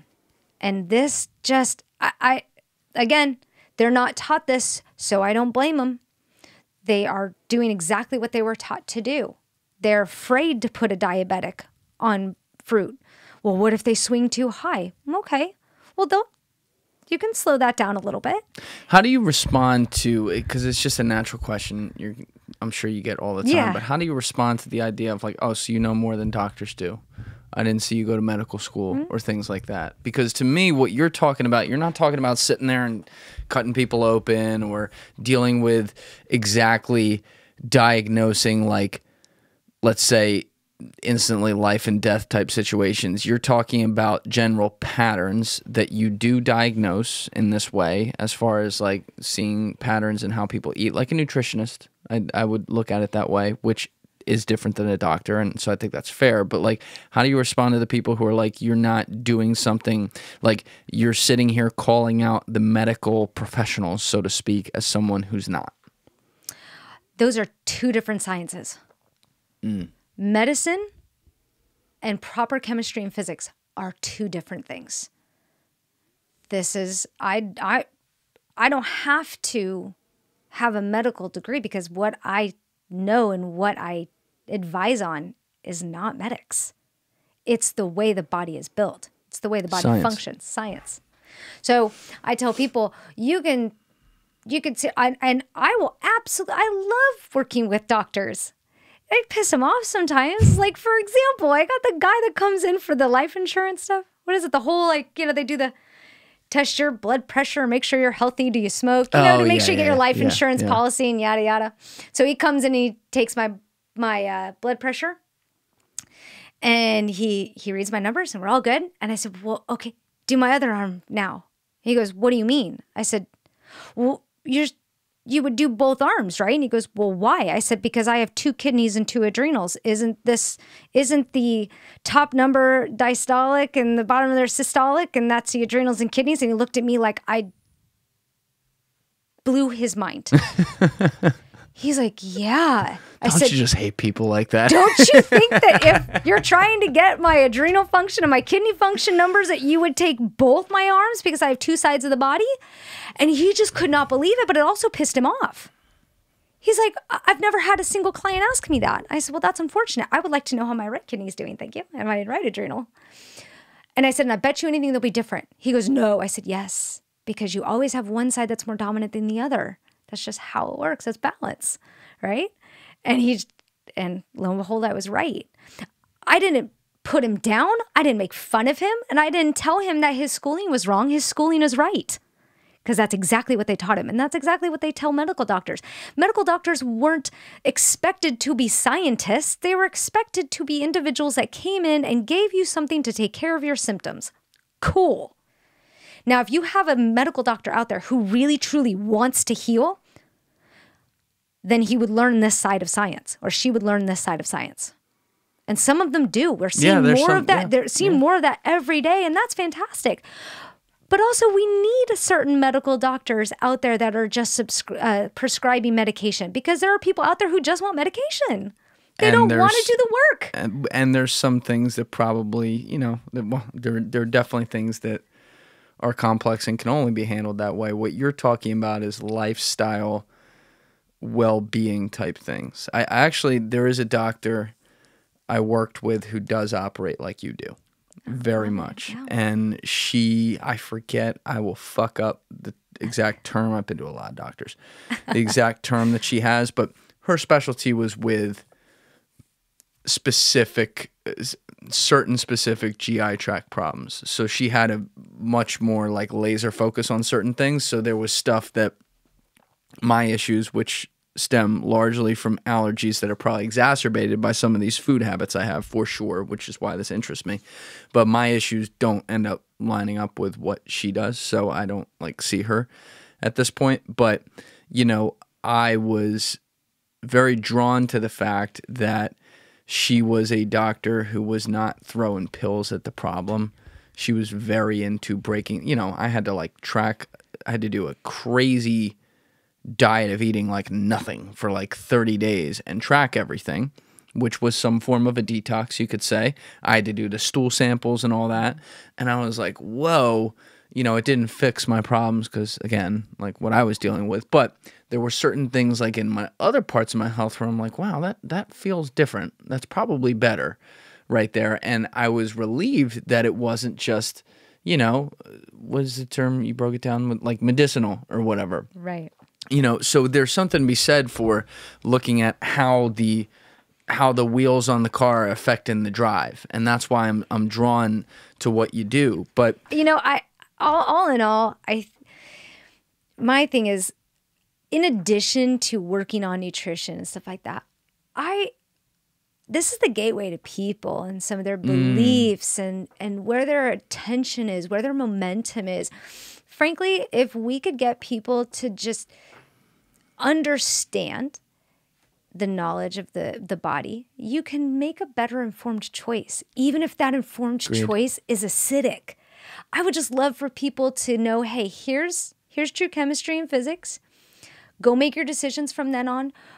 But when you make that decision, do it with joy. Just like Warren Buffett, just like the people in the blue zone. If you're going to do it, fucking do it and be happy about it. Because most people have the resistance. They got a resistance towards this modality, this medication, this food, this what what if we could just look at everything without resistance, without Right. a, a, a preconceived idea of what it's going to do to you? And heal a relationship with our thoughts and our ego, frankly, that would do way more for our health than I could ever help anybody with. Yeah, honestly, I, I, I think that's a huge part of it too. You look at the you look at the mental side of it and, and what that does to us, I, and that speaks to me big time because I know how I my relationship with that with that stuff and how I think about it, and that's probably I don't want to say half the battle right there, but it's a big piece of the battle right oh, there. So, yeah. you know, it's something I could I could reframe because I'd stop having. I'd stop having the self fulfilling prophecies, you know, that happen. Because We all had now, like looking at rice, like I'm gonna be thinking about mucus every goddamn See, time. and this is this is the this is the hard part about you know I tell people I said there are some things I wish I never knew because right. it it taints you a tiny bit. But I'll say this: if I know, I I like to have more knowledge. People say, well, what you don't know won't hurt you. I actually want to know what will hurt me, and then I'll know how to make the choice. Because sometimes I'm going to eat that big bowl of rice. Mm-hmm. There But I'm going to know how to counterbalance it. Go out there, drink it up, eat it up. Go ahead. Don't don't do crazy, crazy shoot up stuff. Right, like right, let's be careful on Right, what we're right, doing here right. to enjoy. Okay, I'm not condoning too too far of the extremes, but go out there enjoy. But at least the knowledge of chemistry would let you know. Okay, tomorrow I'm gonna I'm gonna hit some fruit, or I'm gonna you know maybe dry fast a little bit. I'm gonna do this to my body because I want to have a blast and enjoy. But I'm gonna counterbalance it with something like this. That's healthy. It is what I've. This is how I literally outran almost every single person on that trip in Ecuador. And they're like, but we're the ones eating the meat. We're the ones eating all the grains. And how are we? And I'm like, Eat some fucking grapes. Eat some fucking grapes and some fruit. you know, because again, it's just it's it's when you know you make better choices, the intentionality behind everything you put in your body, what you're thinking about, going back to intention. It's so, so important yeah. ego, get rid of that shit. And intention, make sure you're not creating any resistance and momentum negatively around stuff, and life gets so much better. Where can You know? people follow you on social media Uh, to learn all about this? Yeah, Instagram and um, my website. So Instagram, show me your set. And Such a great name. I like it. It's fun. I, I get to see a- what- I see get- what you did there. I, I get to see a lot of sets a day. It's nice. Yeah, Yeah. yeah, for sure. Um, and then showmeyourset.com. show me your set. All right, I'll put that in. I'll put those links in the description as well. But this was this was a wild convo as ex- as expected because I got to see your round one with Pomp. But there's a lot for me to process and think about. And I think a lot of people out there will have opinions too. So let us know in the comments. But I like what you're doing because you're trying to get to the core of what people put in their mouth, and that's that is no matter how people shake it or what they believe with how far that can go. Again, like I think that's a huge piece of of you know, let's call it what it is. A lot of the health problems we have in modern day society, which is a very good time to live in, and yet we're seeing things we shouldn't see. So I think a lot of that comes back to habits in this country and specifically in this country and how we eat and stuff. So you're pointing a lot of that out. It's good stuff. Thanks. No, it's it's been a blast. It's been fun as expected. Um, and yeah, I just you know I, I really I just really love people. I don't want to help them, and I I want all the comments and all the skepticism Bring because 'em. you know what? This is what it's about. Yeah. This I want all the different sides of thoughts, and yeah, there's gonna be theories. There's gonna be everyone's opinions, but that's the beauty of our freedom here. Is we can do that. So Fuck yeah. let's bring it because it's all it's all good. All right. Well, they can find you at, at Show Me Your Set. I'll put that link down in the description. And everybody else, you already know what it is. Give it a thought. Get back to me. Peace.